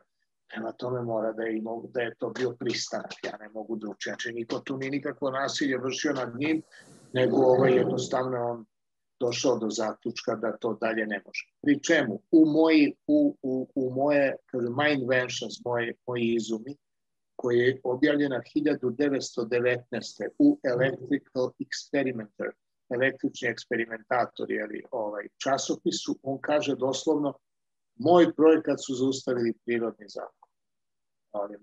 Znači, to je dve godine posle rušenja, u stvari on se, on, on, on se izjasnio. Tako da ja mislim da jednostavno, a kaže jednoga dana, isti zakoni će triumfovati. Pa naravno, kad čovečanstvo bude na nivou i kad cela nauka bude na nivou, da nešto što je opasno ne iskoristi za destrukciju, pomogu u pitanju etika u stvari. I uopšte u pitanju, ne kažem, ni moć tehnologije, čak ni nivo naučnog znanja, nego način na koji mi to koristimo. Recimo, evo konkretno, u ovom trenutku toliko je razvijena veštačka inteligencija, da kad bismo mi vojne budžete, koji su enormni, to su, to su trilioni, ne radi se o milijardama, te vojne budžete prebacili na razvoj veštačke inteligencije, a niko više ništa ne bi morao da radi, čoveče, ja bi robota da mi ide na pijacu, da mi pere vezane na Zoom, E, ali za to je potrebna neka odluka više svesti kolektivne koju mi naravno nemamo.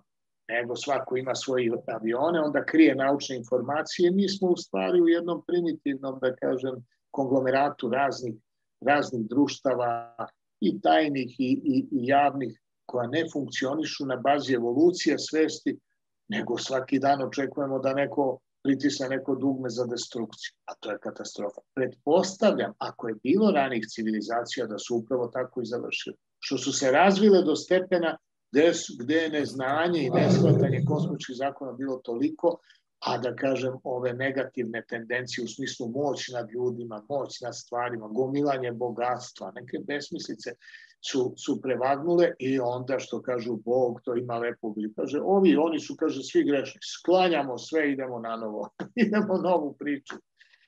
Ovu, da. ovde su, a to je samo zato što imamo slobodnu vodu. Mi imamo slobodnu vodu. Nažalost.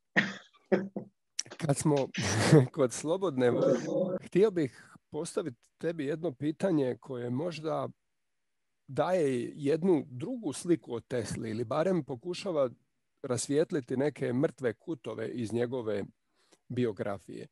Znači, znamo da je na osnovu testenih patenata američka mornarica pokušala filadelfijski eksperiment koji je završio da. Prilično katastrofalno prema onome što mi znamo, što je sve time postignuto mi ne znamo i gdje je to kasnije preseljeno.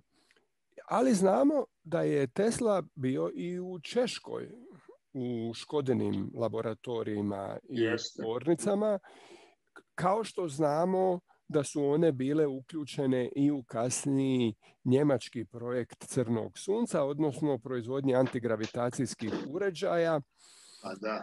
I to je tehnologija neidentificiranih letećih objekata koja je pacovskim kanalima kasnije preseljena u Ameriku ali je preseljena nešto i u Argentinu i pita Boga gdje je već nije preseljena, vjerojatno i u tadašnji Sovjetski savez.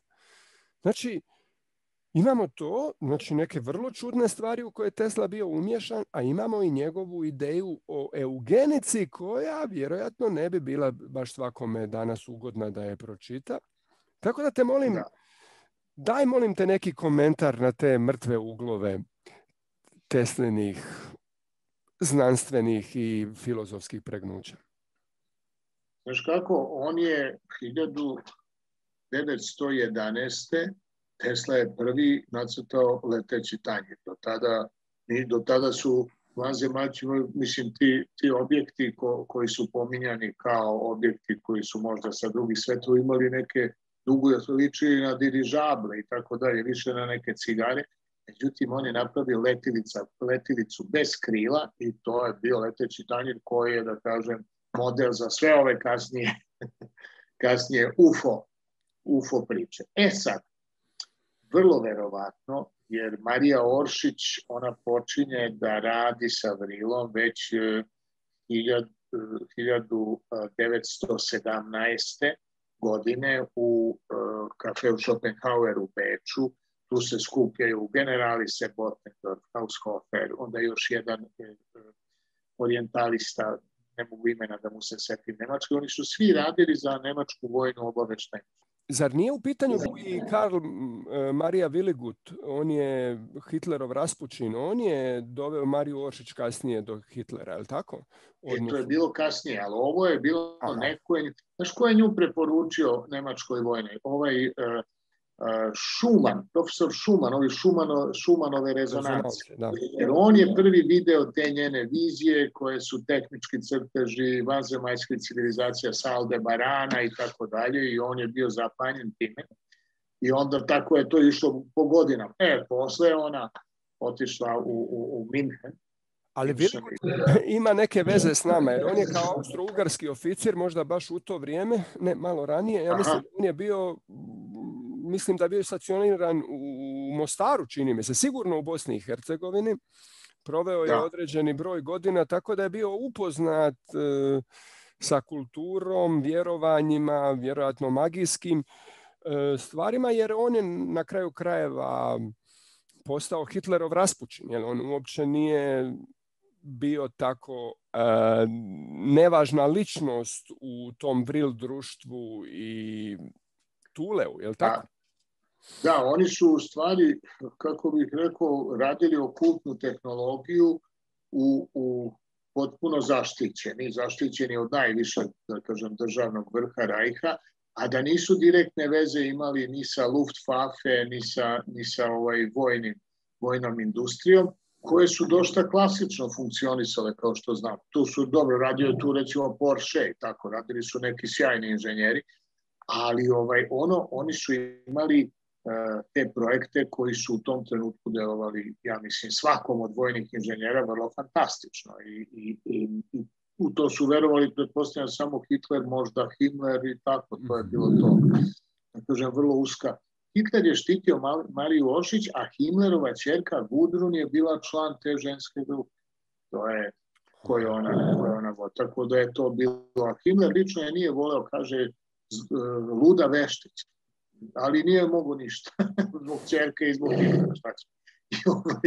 Tako da je, da da da je on, oni su u stvari naravno radili najbolje fabrike tada, e, pošto je ceo treći raj radio direktno za rat, znači oni su morali malo da se izmeste i došli su u Češku, u, fabrike Škoda i tu su oni počeli u stvari i, i to je projekat Zvono, to je, zvo, to je projekat uh, ovaj, vremenske mašine za putovanje kroz vreme i projekat, projekat ovaj, antigravitacionih letilica.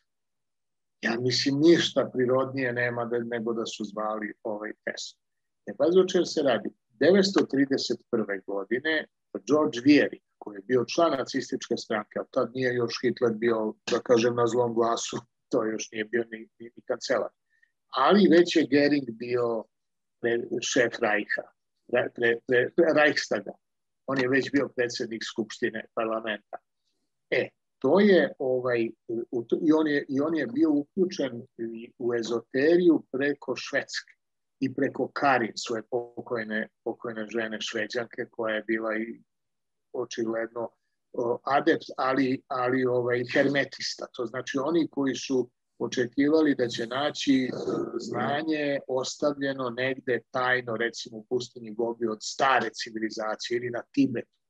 Pa je Sven Heding, Sven Heding je šveđanin, bio hermetista i to je bila veza sa, sa Geringom i veza sa, sa, ovaj, sa Karin koja je umrla nešto malo pre 300, mislim baš te iste godine i onda je on napravio Karin Hall, Gary. To sve kažem zato što nezavisno od svega toga, znači nezavisno od tih znači, proizvodnja Luftwaffe, jeli, koje, ili Messerschmitt, koje radi inženjer Messerschmitt, oni su, oni su ovaj, imali on, oni su imali svoj neograničen budžet, apsolutno, i radili su u stvari to je projekat tajnog oružja. E, ali ko je tu radio? Nije samo radio Tesla, nego je radio i ovaj uh, Obert, da li Herman Obert, Obert koji, je, koji je bio učitelj von Braun.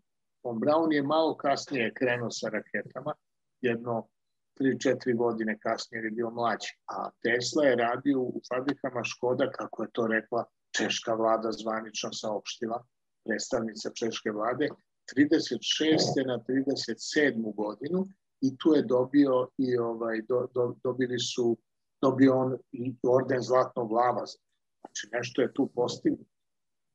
Očigledno da su Foo Fighters kasnije bili u stvari ti, ti ovaj, to su zapravo loptaste munje koje su imale, imale senzore za, za otkrivanje aviona, koje nisu mogli Amerikanci kad su došli Englezi, Rafon, nisu, nisu znali šta s njima da rade. To su bili izviđači. Šta. I oni su ih primećivali, ali gađaš ništa, to prođe, samo to tane. Pošto pošto obični projektil to ne, ne pogađa. Recimo, ako mi pogledamo nacističku ikonografiju, mi možemo vidjeti, znači, svastiku, dakle obrtno polje, je li tako? Koje e, odnosi orao. Jel imamo zlatnog orla koji na neki način, znači to je, je. to je obrtno magnetsko polje koje proizvodi nekakvu silu koja leti. Znači, da. u samoj u samoj simbolici, znači to je poruka, jel? simbol je znak, to je poruka o čemu se tu radi. Znači u samoj ezoteriji, u samoj biti toga pokreta nalazi se to obrtno magnetsko polje i ono što, ja mislim da je baš to rekao Karl Marija Viligut, da dva obrtna polja, ili tako, stvaraju kozmičko jaje iz kojeg je stvoren čitav svijet. Je li tako nekako bilo? Čini mi se... Da, to su da, u kontrasmeru se... U kontrasmjeru, da tako? Ali da. to, to i jeste prema onome što se zna, to i jeste bit te NLO tehnologije. Dakle, imamo dva rotaciona polja koja idu u kontrasmjeru i onda se tu dešava... Da. uzgon, nekakva paralelna stvarnost. Tu se hakira matrica vremena i prostora i zato oni mogu se gibat, ne znam, nija 30G, nikakvih problema nema. Ono što mi vidimo kao 30G da se tu dešava, što bi ljudsko tijelo potpuno onesposobilo, to za NLO nije nikakav problem i oni se pojavljuju, nestaju, pa vibriraju, pa ulaze u vulkane, pa ispod mora, pa iznad mora, pa nemam pojma šta. Oni hakiraju tu uh, matricu vremena i prostora. A zanimljivo je opet da se ikonografija tih e, svastika i tekako pojavljuje na balkanskim e, područjima. Uzmemo samo... Ima u Vinči. U Vinči na, na jednome pa u, na simbolika stečaka, pa imamo jeli, na rimskim. Recimo ako dođeš u Sarajevo u Zemaljski muzej, to je fantastično. Tamo ćete dočekat pri samom ulazu jedan fantastičan, fantastičan e, mozaik koji je zapravo, kad ga ti pogledaš, to je dvostruko obrnuto magnetsko polje. Znači imaš to dva, ono, jedno crno, drugo bijelo, oni su isprepleteni, oni se vrte, u sredini je nekakav propeler. Jeli? I, znači, ako, ako to gledaš, znači, ne kao nekakvu tamo ornamentiku, puku dekoraciju, nego ako to gledaš sa obrazovanim fizikalno-matematičkim očima i malo upućen e. neke stvari, onda možeš vidjeti da su i oni raspolagali, pitaj Boga čime, kao što su neki njemački fizičar, recimo Konstantin Mail, kojega Goran dosta prati i citira, koji je za ove stacionarne valove kako E, bitan. On je našao u rimskim spisima e, to da car poruče nešto nekom generalu, a taj general odgovori isti dan. Pazi, a oni se jedan je u Rimu, a drugi je tamo negdje u Perziji. Znači imamo...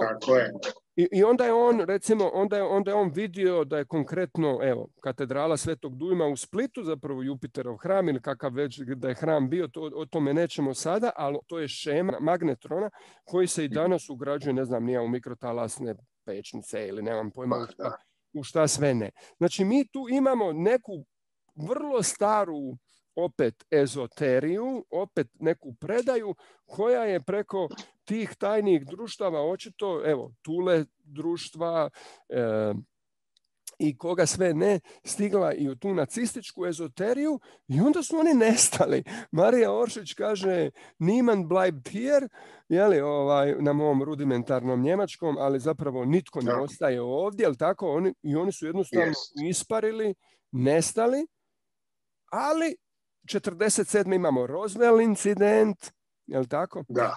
Aj, ali htio bih reći ovo, ovo me se malo zna kod nas, ali recimo Heisenberg je dolazio vrlo redovno na Tehničku akademiju u Zagreb 30. godina. Tamo je predavao mhm. jedan uh, profesor uh, vrlo mlad, tada Zvonimir Richtman, i on je bio uključen u onaj famozni obračun na književnoj ljevici u Hrvatskoj, znaš ono Krleža s jedne i Richtman, a sa druge strane su bili Đilas, ovaj, tri ovna, jeli, Milovan Đilas, koji su već bili Jovan Popović i koji je bio treći. Jovan Popović i Radovan, i E, dakle, tri ovna, Krležina i tako dalje. I, yes. je, i, I to je bilo kod toga časopisa Pečat. Pa se u tu polemiku uključuje i i Tito u komunistu pišu protiv, ne znam, nija Richtmana, strašno. Uglavnom, taj Richtman e, je držao ta predavanja, držao tu katedru na, na Tehničkoj akademiji, tu je dolazio Heisenberg i tu se govorilo o nekim bitnim stvarima, znaš, o teoriji relativnosti, cijepanju atoma, nemam pojma, i svim tim stvarima. Pavao Pavličić 90. godina objavljuje knjigu Nepovrat u kojem on tvrdi da je Richtman zapravo konstruirao, to je kao fikcija, ali da je on konstruirao zapravo vremensku mašinu. I to je vrlo, vrlo zanimljivo koje on opisuje čak mijenjanje, da, treperenje svjetlosti, mijenjanje boja, sve to živo, razumiješ, imam tu knjigu negdje ovdje, nije važno sada toliko, ali ovo je bitno, pazi. Pred sam rat 41. Banovina Hrvatska tada hapsi komuniste. To je ona kerestinačka grupa koju su oni odali, jeli, Otokar Keršovani, Ognjen Prica, da. Jeli, i tako da. Među njima hapse i Zvonimira Richtmana. Zvonimir hm. Richtman je bio u dvostrukom zatvoru. On ne samo da je bio s njima u Kerestinečkom zatvoru, on je bio zapravo izoliran i od komunista. Komunistima je bilo zabranjeno da s njime komuniciraju. On je bio u dvostrukom zatvoru i kada su oni konačno streljani, on je prvi bio streljan. Znači, vrlo, vrlo važno. Ali gledaj ovo, imamo još tu poveznica. Ko njega hapsi? Pa, pa e, hapsi ga Ban Subašić. Znaš, pa hapsi ga hm. Ban Subašić, pa koji tadašnji hrvatski ban, li onda on ide sa izbjegličkom vladom u Kairo, postaje premijer zajedno sa Titom. Da. Sjećamo se, ali tako, 44. Oni zajedno osniva se vlada Tito Subašić, ali on je tamo ispred jugoslavenske vlade skupa sa Savom Kosanovićem kada je Tesla umro. Dakle, on ulazi skupa sa Savom Kosanovićem u Teslin u hotelsku sobu i on Sava Kosanović tamo ulazi kao njegov rođak, a u pa osnovu ulazi Ban Subašić kad je Tesla američki državljanin, po zakonu o naturalizaciji na njega se ne primjenjuju nikakvi zakoni druge države kada je on na teritoriju svoje. Dakle, ne znamo po kojoj osnovi Ban Subašić tamo dolazi. Međutim, znamo da nakon godinu dana on postaje premijer zajedno sa Titom. A znaš šta je još zanimljivo? Ban Subašić i Tito su rođeni na isti dan. 7. maja 1892. I sada, ajde mi molim te kaži, kakva je vjerojatnost, razumiješ, kakva je vjerojatnost da imamo toliki broj koincidencija i opet negdje u pozadini imamo Teslu. Ja ne kažem da sam ja tu otkrio ne znam nija što, ali otkrio sam jedan uzorak i pozivam mlađe istraživače i one koji imaju vremena da se malo pozabave time. Znači, imamo jednu ezoterijsku nit sa Teslom koju zapravo ne umijemo rasplesti, pa ni kojim osnovom njegova zaostavština dolazi u Beograd, kao Sava Kosanović je to dobio. Zašto samo on? On je imao i drugih rođaka, a nije imao samo, je imao čak i u, i u Americi drugih rođaka Tesla, ne samo njega. Je tako? Jedna je Trbovićka tamo bila od njegove... Bio je Trbojević. Da, oni su svi odrekli nasljeđa. Sava im je tražio da se odreknu da on sve dobije. Morao bi s njima da deli sa Trbojevićem. Ali nije. Oni su Ali se odrekli. Nikola Trbojević. I on, bi inženjer. Da, i on je to onda poslao, ovaj, i onda je on to poslao u, u Jugoslaviju to, i tako je to na volšeban način stiglo u Beograd i nikad nije popisano. Jeli, ti si Zapravo jeste, Sava je popisao, ali se posle tvrdilo da nikad to nije popisano, sklonjen je taj spisak. Da, A naravno da je popisano, popisali su Amerikanci, pa čak i onaj... Prvo i oni. Je tako? Pa imamo Trumpovog strica koji je u to bio umješan. John Trump. Jel tako? John Trump. I, i tako dalje. Znači, svašta se tu e, nešto dešava.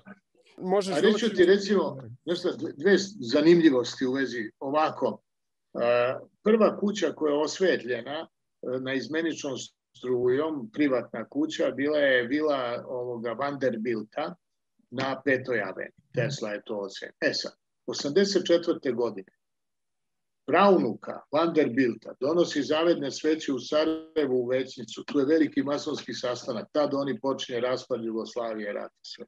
Isto. Znači, Tesla je direktno vezan, to ću kažem sa tim. Uopšte nije naim. To je jedan podatak. Drugi podatak, Henry Wallace. Henry Wallace je podpredsednik Amerike ovoga, kod Roosevelt. Roosevelt, iako vodi neku malu beznačajnu stranku, a Roosevelt ga uzima jer je on Rerihov učenik, učenik Nikolaja Reriha, da ima vezu s Rusima pravu, znači ne ovu formalnu, nego, nego malo du. Rerih, koji opet 934. značajan po tome, što je on nacrtao revers dolara. Do 34. godine na dolaru je bilo samo one pozadnje. E onda je on nacrtao to sve i to u Mongol, gde zajedno Henry Wallace i Rerih putuju kroz Mongoliju, jer Rerih hteo da stvara državu svoju u Aziji, pa mu to onda Stalin je to omeo i, i, i Gurđijev. Gurđijev je dosta radio protiv Reriha. E, a u vreme kad je Rerih, kad je Rerih putovo kroz Kinu, a to je bilo negde 900, 915. 16. tako bio je rat. ko putuje, ko, ko putuje također kroz Kinu? Putuje Roosevelt, oni se sreću u Kini, veliki Roosevelt. I posle prave Peace Pact. Peace Pact koji potpisuje Roosevelt i neke zemlje Srednje, Srednje Amerike, po kojoj Haška konvencija napravljena za očuvanje kulturnih dobara u doba ratova i tako dalje. To sve pričam što, što, zašto? Jer je tom istom Harryu Wallace-u, koji je podpredsednik Amerike, Tesla pisao predgovor za knjigu ovaj, uh, the, the, age of, the, the age of a common man. To je sve, ne da je povezano, ne. E, Wallace i Sava Kosanić. Sava Kosanić je mason, on je u Austro-Ugarske lože gde je bio i, i, i ovaj Ivan Ribar i gde, gde je bio i Augustinčić, sve to ista loža. To je ovaj, tu su, tu, on je uh, on je, on je ovaj, držao čak i govor u američkoj loži, ima, ima stenogram njegovog govora u američkoj mason Save, Save Kosanovića. Pretpostavljam da je Šubašić bio mason Splitske lože, ja mislim, ove vrhovec, mm. vrhovec. To je sve to, to su kao i loža Libertas, koja sada hoće da uspostavlja ponovo Federaciju Balkana. To je najnovije. 19. sad, ožujka, marta, 19.3. su se sastali u Sarajevu, a sve ide preko Sarajeva, to je najluđe od svega. Tu, su, tu se sastaje loža Libertas i ima i sad ujedinjene lože Tesla, kako to znam, koje su odavde. On, on je podpredsednik, taj Tojagić, Dragan Tojagić, koji vodi te lože. On je podpredsednik, predsednik je ovaj Vojnić iz, šef loze Libertas iz Zagreba, a drugi je jedan musliman, našli su ga koji je tajkun, koji je komunista bio, pa musliman, maso, njemu je svejedno, znaš, ali ima neke velike pare, pa on to sve finansije. I sve to ponovo, kako bi rekao, ide na neki način, na neki način takođe preko Semira Osmanagića. A pitao sam Denikena, razgovarao sam s Denikenom, pitao sam ga za pošto on bio na, na, u visokom na piramida. Direktno ga pitao šta vi mislite o tome, je to piramida vanzemaljska ovo ono. Kaže ne, to je prirodni objekat na kom su radili ljudi. On lepo mi odgovorio, Deniken je dobar. Tako mislim se, jer on ima tamo snimak po ovim tunelima ravnih, jer je, jer je otac Semira Osmanagića, ne znam da to znaš, on je bio direktor kakanskih rudnika. Da, kako ne. Znaš šta bi još htio reći za e, Bana Subašića? Mislim da je to također Aha. jedna važna poveznica. On je na neka, neki volšeban način postao predsjednik jugoslavenske vlade, znači i onda je postao ko premijer zajedno sa Titom kada je Ivan Ribar bio, jel tako, predsjednik federacija, on je poznati mason, da. to, to nije... Da, ovaj, predsjednik prezidijuma, prezidijuma da. se to zvao, da. Tako, i znači imamo, imamo tu jednu masonsku liniju koja očito ide. A htio sam ovo reći, u doba kada je rođen Ban Šubašić, 1892. E, on je rođen dakle 7. maja a tada je Tesla tu negdje u Zagrebu, da bi on došao onda u Beograd, sjećaš se 1892. On jeste, jeste, jeste. Da, on je došao u Liku, i onda, da. da. I onda se vraća tu. Uglavnom, on se tu mota negdje u to vrijeme, kada je ovaj rođen. To, to, je, to je također vrlo zanimljivo. E, spomenuo yes. sam moga oca ranije, spomenut ću ga još jednom. Moj otac je 50. godina studirao teorijsku matematiku u Zagrebu i i umro je e, tada Ban Subašić. I otac je otišao na sprovod. I, on, i, i jednom sam ja njemu tako pričao o ovim stvarima i kaže on meni, znaš, kaže, moram ti nešto reći. Kaže, ja sam bio na njegovom sprovodu, kaže, sjećam se jako dobro. Kaže, bile na Mirogoju. Da. Na Mirogoju. Kaže, na Mirogoju, da. Da, kaže on, e, bile su ove žene še, u šestinskim narodnim nošnjama i tako bilo je puno svijeta. I kaže, onda se desilo vrlo nešto neobično njegova je žena uzela riječ. Pazi, to je katolički sprovod, to se ne događa. To, to se ne radi, da. Da, ne radi to, to, se, to se ne događa i, ne. i zato je moj otac tada to dobro zapamtio. Kaže, i, i sjećam se vrlo dobro da je ona rekla, kaže, da je život njenoga supruga bio obavijen tajnom koja tek treba da se otkrije. A, dobro. Kaže, i kaže, da, moj, da. Kaže moj otac, kaže ja sam bio tamo, ja ti svjedočim da je to, da je, da je to ona izgovor. Či poslala je poruku samo što je mogla. Da. da. Aha, da. A on je, a on je nakon, nakon sukoba sa Titom, odnosno kad je on ove, sišao, sa vlasti, on je zapravo živio pod policijskom prismotrom. E, ali, sad se ne sjećam imena, jedan američki obavještajac je napisao jedan thriller u kojem se pojavljuje osoba koja se zove Bogdan Subašić. Pazi sad ovo. Thriller se bavi Teslinim tajnim oružjem. Znači ono klasična ta priča. Pazi, govorimo 70. godina kada niko u Americi ni ne zna za Teslu. Jel? Niko yes. Jedino ta obavještajna zajednica. I on piše taj roman i pojavljuje se agent američke vojne obavještajne službe po imenu Bogdan Subašić, čiji je Tesla u romanu djed. Vjerovao ili ne. Znači, krajnje, krajnje neobično. I sad opet imamo to ime Subašić koje se tu pojavljuje i sada Bogdan da. Subašić Teslin unuk. Mnogo je tu detalja koje bi trebalo, razumiješ, spojiti. Sve je čudno. Ono što ja znam, to, to je sigurno, kad je, kad je u, u, posle sprovoda Tesinog, kad su gosti otišli, što kažu, onda su Šubašić i Sava stavili Tesin kovčeg u auto i otišli i dalje se više ništa ne zna o tome. Jer posle kao on je spaljen, na tom, na tom Ferncliff se zove to, to groblje, nije Vardenkliff, nego je Ferncliff paprat. I ovaj, e, međutim, da li je spaljen, da li je on odnet u Rusiju tamo gde, gde je Volenjin još uvek mumija radi, razumeš, ko Ramzes, i šta ja znam, to nije više jasno. Ja lično ne mislim da su njega spalili, to mi je vrlo, vrlo mutna priča. Jer pazi, kad je e, ovaj je, e, Sava Kosanović donosi tu posmrtnu masku uzetu s Tesinog lica, to je od voska pošto parafin nije još bio pronađen tek posle drugog svetskog rata. Tako da je direktno vosaka, to, to ti je kod depilacija, tu ima, tu, u, i sad u, to, je, to je da kažem ovaj matrica. Međutim u patrici, pošto je tu sipan gips direkt, tu su ostale dlake iz ušiju, parče kože, to tako da nije problem DNK uopšte i ta je maska u, u, u Zagrebu. I da ti kažem ovako, sad ovo nije možda za objavljivanje, ali ovaj, a, a, ovaj nesretni Bandić je hteo da kupi tu masku jer je na, on je, da kažem, nazvao tehnički muzej Zagreb Nikola Tesla i što je sve okej. Okay. I on je sad teo da uzme tu masku, da imaju tu osnovnu posmrtnu masku. Znači, nikad nije došao do muzeja. Ovde su u muzeju tih nekih, to je, to, to je kopija sa gipsa uzeta, ovo je uzeta kopija sa, sa ovaj, voska. I sad šta? On je evo, autentično ti sad pričam šta se desilo, ja ne mogu to da objasnim drugčije nego parapsihologi. Trebalo je sad Dragica koja, je, koja vodi ovu udrugu Nikola, Nikola Tesla Geni za budućnost, kaže meni jao, kaže nama se nudi ta maska, da mi to kupimo, a da li biste vi mogli da vidite je to autentično, da nije to nešto ovo ono. Ja kažem, hoću vrlo rado. I mi se ovaj, dogovorimo da ja dođem dođem ovaj, u, u, u Zagreb i da se mi, da se mi sastanemo kod Deda Mažića koji ima tamo, on je jedan ovako poznat, inače bio dobar Bandićev prijatelj, pa kod njega na, on ima na Hiltonu ona, penthouse gore, pa tu se sastaje on. I tako. I sad kaže Dragica, ajde dođite vidite da hoću.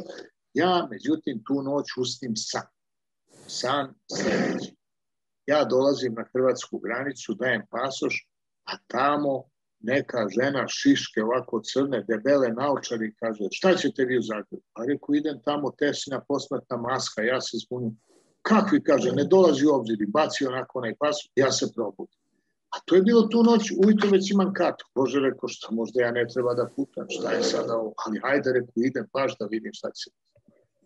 Da skratim priču, išao sam ovim autobusom, dođem ja na hrvatsku granicu, i da vidim baš da dam pasoš. Sedi neka plava žena, nije ni gledala onaj pasoš, dobro, nije me ništa ni pitala, doviđenja. I mislim se, da, sanjo ja nešto. Dođem, dođem kod Eda Mažića, to isto veče sastanemo se mi svi, dođe maska, nema nikakve sumnje, ima oni dokumentaciju i sve to. I kaže, to je ta maska, i kaže, Bandić, ja to kupujem, razgovarat ću ja sa ovim sa ovim mojim u, u, u gradu Zagrebu, da se izglasa sad koliko treba tih para, oni to daju, traže oni neki 50 tisuća, dobro, nema veze, ajde, I ništa, mi tu lepo pijemo vino, sve se super dogovorimo odem ja da spavam i ujutru ja, znaš, ja volim televizor i uključim ja u 9 sati, probudim se i uključim vest. Prva vest. Uhapšen je Mantić. Autentično. Uhapšen ide u ovaj, kako se zove... E. Remetinac. Remetinac. On izlazi iz kuće, nosi neku, no, nosi sa sobom nešto, valjda poneo čebe neku ili nešto, nosi neku torbu, a to saopštava pod parolu uskoka, koja je žena koju sam ja vidio u snu. Ta sa nekom o, groznom, nekom kosom crnom i nekim debelim naočarima čita to, a iza ide ta sam. I ja ti vidim. E, i odloži se kupovina te maske, do dan danas to ništa nije kupljeno. Šta da ti kažem? Čud, čud, čudno. Vrlo, vrlo čudno.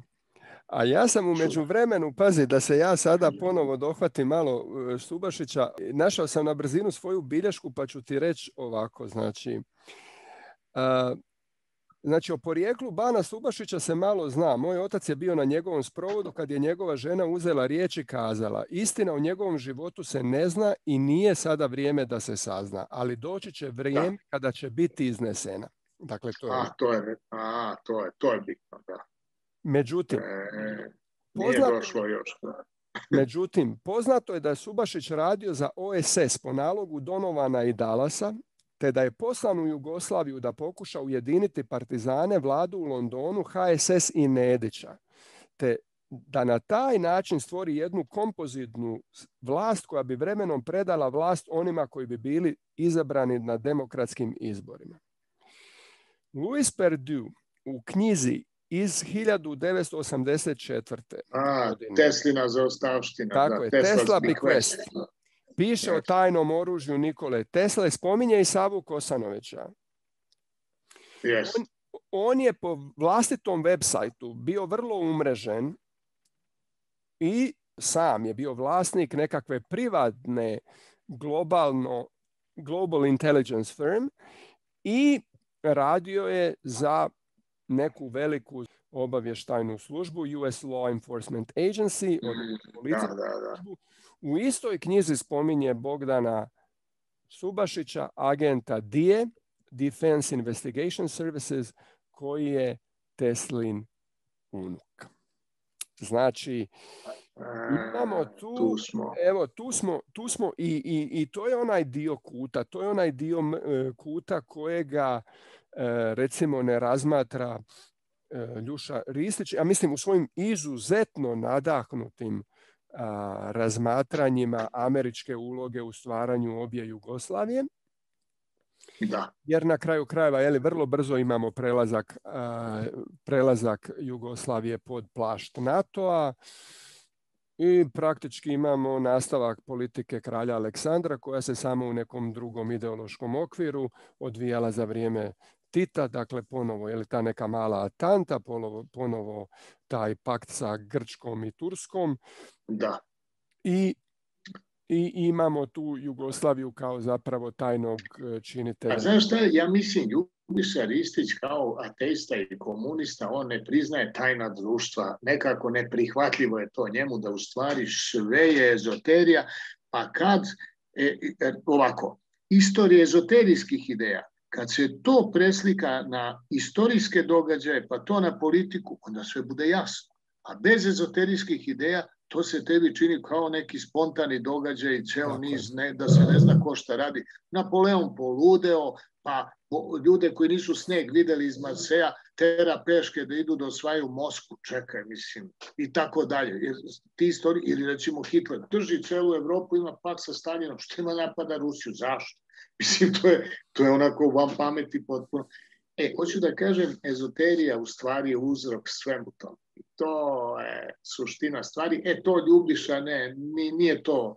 On sjajan je, pošto on dramaturg i to, on zna da postoji scenariju za scenu, to toliko zna. Ali da taj scenariju ide u stvari iz kosmoloških zakona koji neki nadareni, prozorljivi ljudi, razumeš, ekstra sensi, da oni to kanališu to zna samo KGB i GRU, to rade Rusi. Oni su klon, kompletna država čovječa je klon tajnih društava, a tajna društva su, su klonovi tih ljudi planera van sistema koji su u stvari nadareni ljudi koji su u vezi sa kosmičkim poredkom, a ne sa politikom. Kakva? To dok dođe do politike, to ima tri, četiri nivoa da prođe dok dođe do, do, do ove realne. E, to ne mogu ovi. A Jugoslavija upravo je žrtva tih ezoterijskih, da kažem kao što i sama bila ezoterijska država. Jel? Od samog početka, znači od samog, samog početka, još od prije Maksimilijana Vrhovca, od tamo od onih e, isto kojima se ništa ne zna. od Ignaca Martinovića, masona, čuvenoga. Jednom ćemo o njemu pričati, to ti moram e, ispričati. Pričat ćemo to. Pa znaš šta, ma sve oni rade na datume, ovo što ti kažeš sada, 7. maj i tako dalje. Pa onda recimo Đinđiće ubijaju na, na 12. ožujka. Kaže Matovski ide. Nisu, Matovski ide su 15. A 12. je rođen da Ratka Mladić. Zavitlavaju se čovječ. Direktno se s nama se svi tako dalje. Znaš, to hoću da kažem. 84. masonski sastanak, zašto? Pa zato što ga vode naravno Englezi, ko bi drugi. Mislim, a to je Orvelova knjiga, 1984 mogli su i mesec dana ranije i kasnije, ali baš tad u Sarajevu. Mislim, Jugoslavija jeste masonska tvorena, potpuno, to, to mislim da ipak jeste. Ali ideja južnih Slovena nije, to je, to je nešto što ima veze sa azijskim tajnim društvom. Nije samo masonija, nije samo masonija.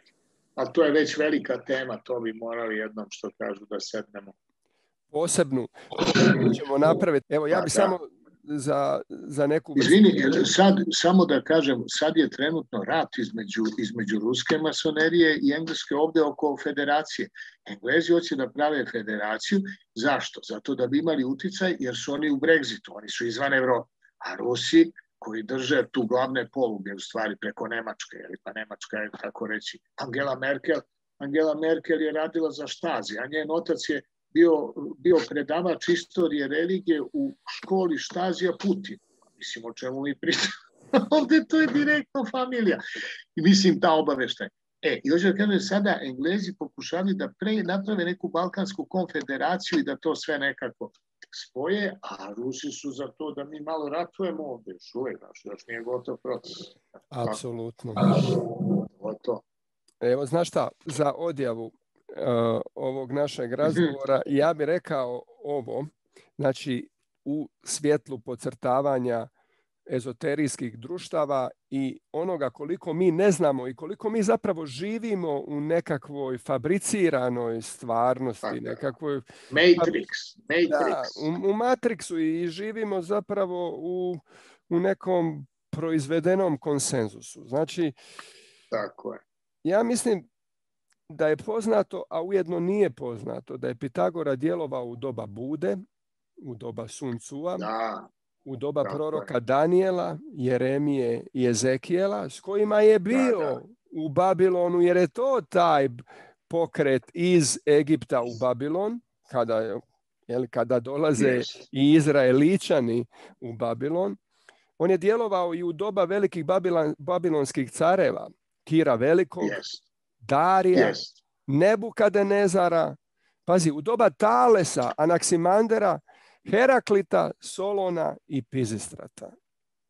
I niko da počne gledati malo širu sliku, nego sve je to nešto posloženo u nekakve kutice. Ovdje je bio Solon, tamo je bio, ne znam, Nijakir, ovdje je bio Buda, tamo je bio Pitagora, a tamo je bio Sun Tzu, kao navodno da ništa nema veze, a zapravo je sve to povezano i sva ta ezoterijska tajna društva su povezana kao i što je taj šesti vijek prije nove ere, kao što je rekao i pa da je bio ključan i da je to zapravo bila renesansa ljudske misli, a nakon toga mi smo ušli u nekakav pad, nažalost. E, I da kažem, Tesla je bio sam zašto? Zato što on prerano počeo transformaciju svesti civilizacije.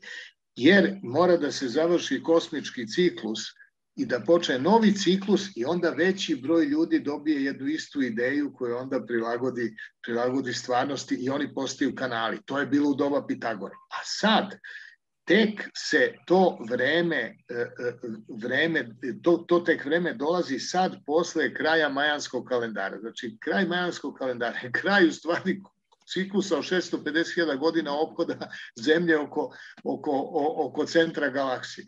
I sada mi ulazimo u novi denzitet i sad se menja i ovaj i frekvencija ionosfere koja je u direktnoj vezi kao i frekvencija cele atmosfere u direktnoj vezi sa centralnim nervnim sistemom i mozgom. Znači mi ulazimo u potpuno novu fazu preko našeg nervnog sistema i u stvari ovo sa što se dešava s koronom, to je samo jedna priprema za promenu kolektivne svesti čovečanstva. Nema, gotovo je više sa time da čovek ide u ofis da bi radio, mislim, drugačiji će biti odnos prema bolestima, prema virusima, prema radu, međusobni ljudski odnosi, sve se to menja i to u stvari ne zavisi od čoveka, to ću da kažem. To su kosmički ciklusi, a mi smo velikim delom automati, ali ne do kraja. Jedan deo našeg automatizma je slobodna volja kojom mi možda upravljamo samo onom energijom i masom kojom raspolažemo. E, Ako nemamo tu individualnu svest, onda se sudaramo sa ovim što kaže Fotije. Sudaramo se sa univerzalnim, sa sudbinom koja je neumoljiva, jer su to zakoni koji se ne menjaju, koji su večni. I prema tome ja sam apsolutno za naučnu duhovnost, jer jedino u tome vidim neku, ne, ne, neki spas u stvari u, u, u religijskom smislu, da najzad se uklopimo u harmoniju onih zakona koje Bog da nema boljeg načina da se da šlagvort i ima našeg pa da. razgovora. Hvala Divan razgovor, svašta smo dotakli teme, ali ovaj, mislim da neće biti dosadno, pa to je glavno. I nastavit ćemo, Bože, zdravlja. Nastavljamo, dobri moj prijatelju, posle doktorata. važi, važi, važi, Bog te čuva. Da, da.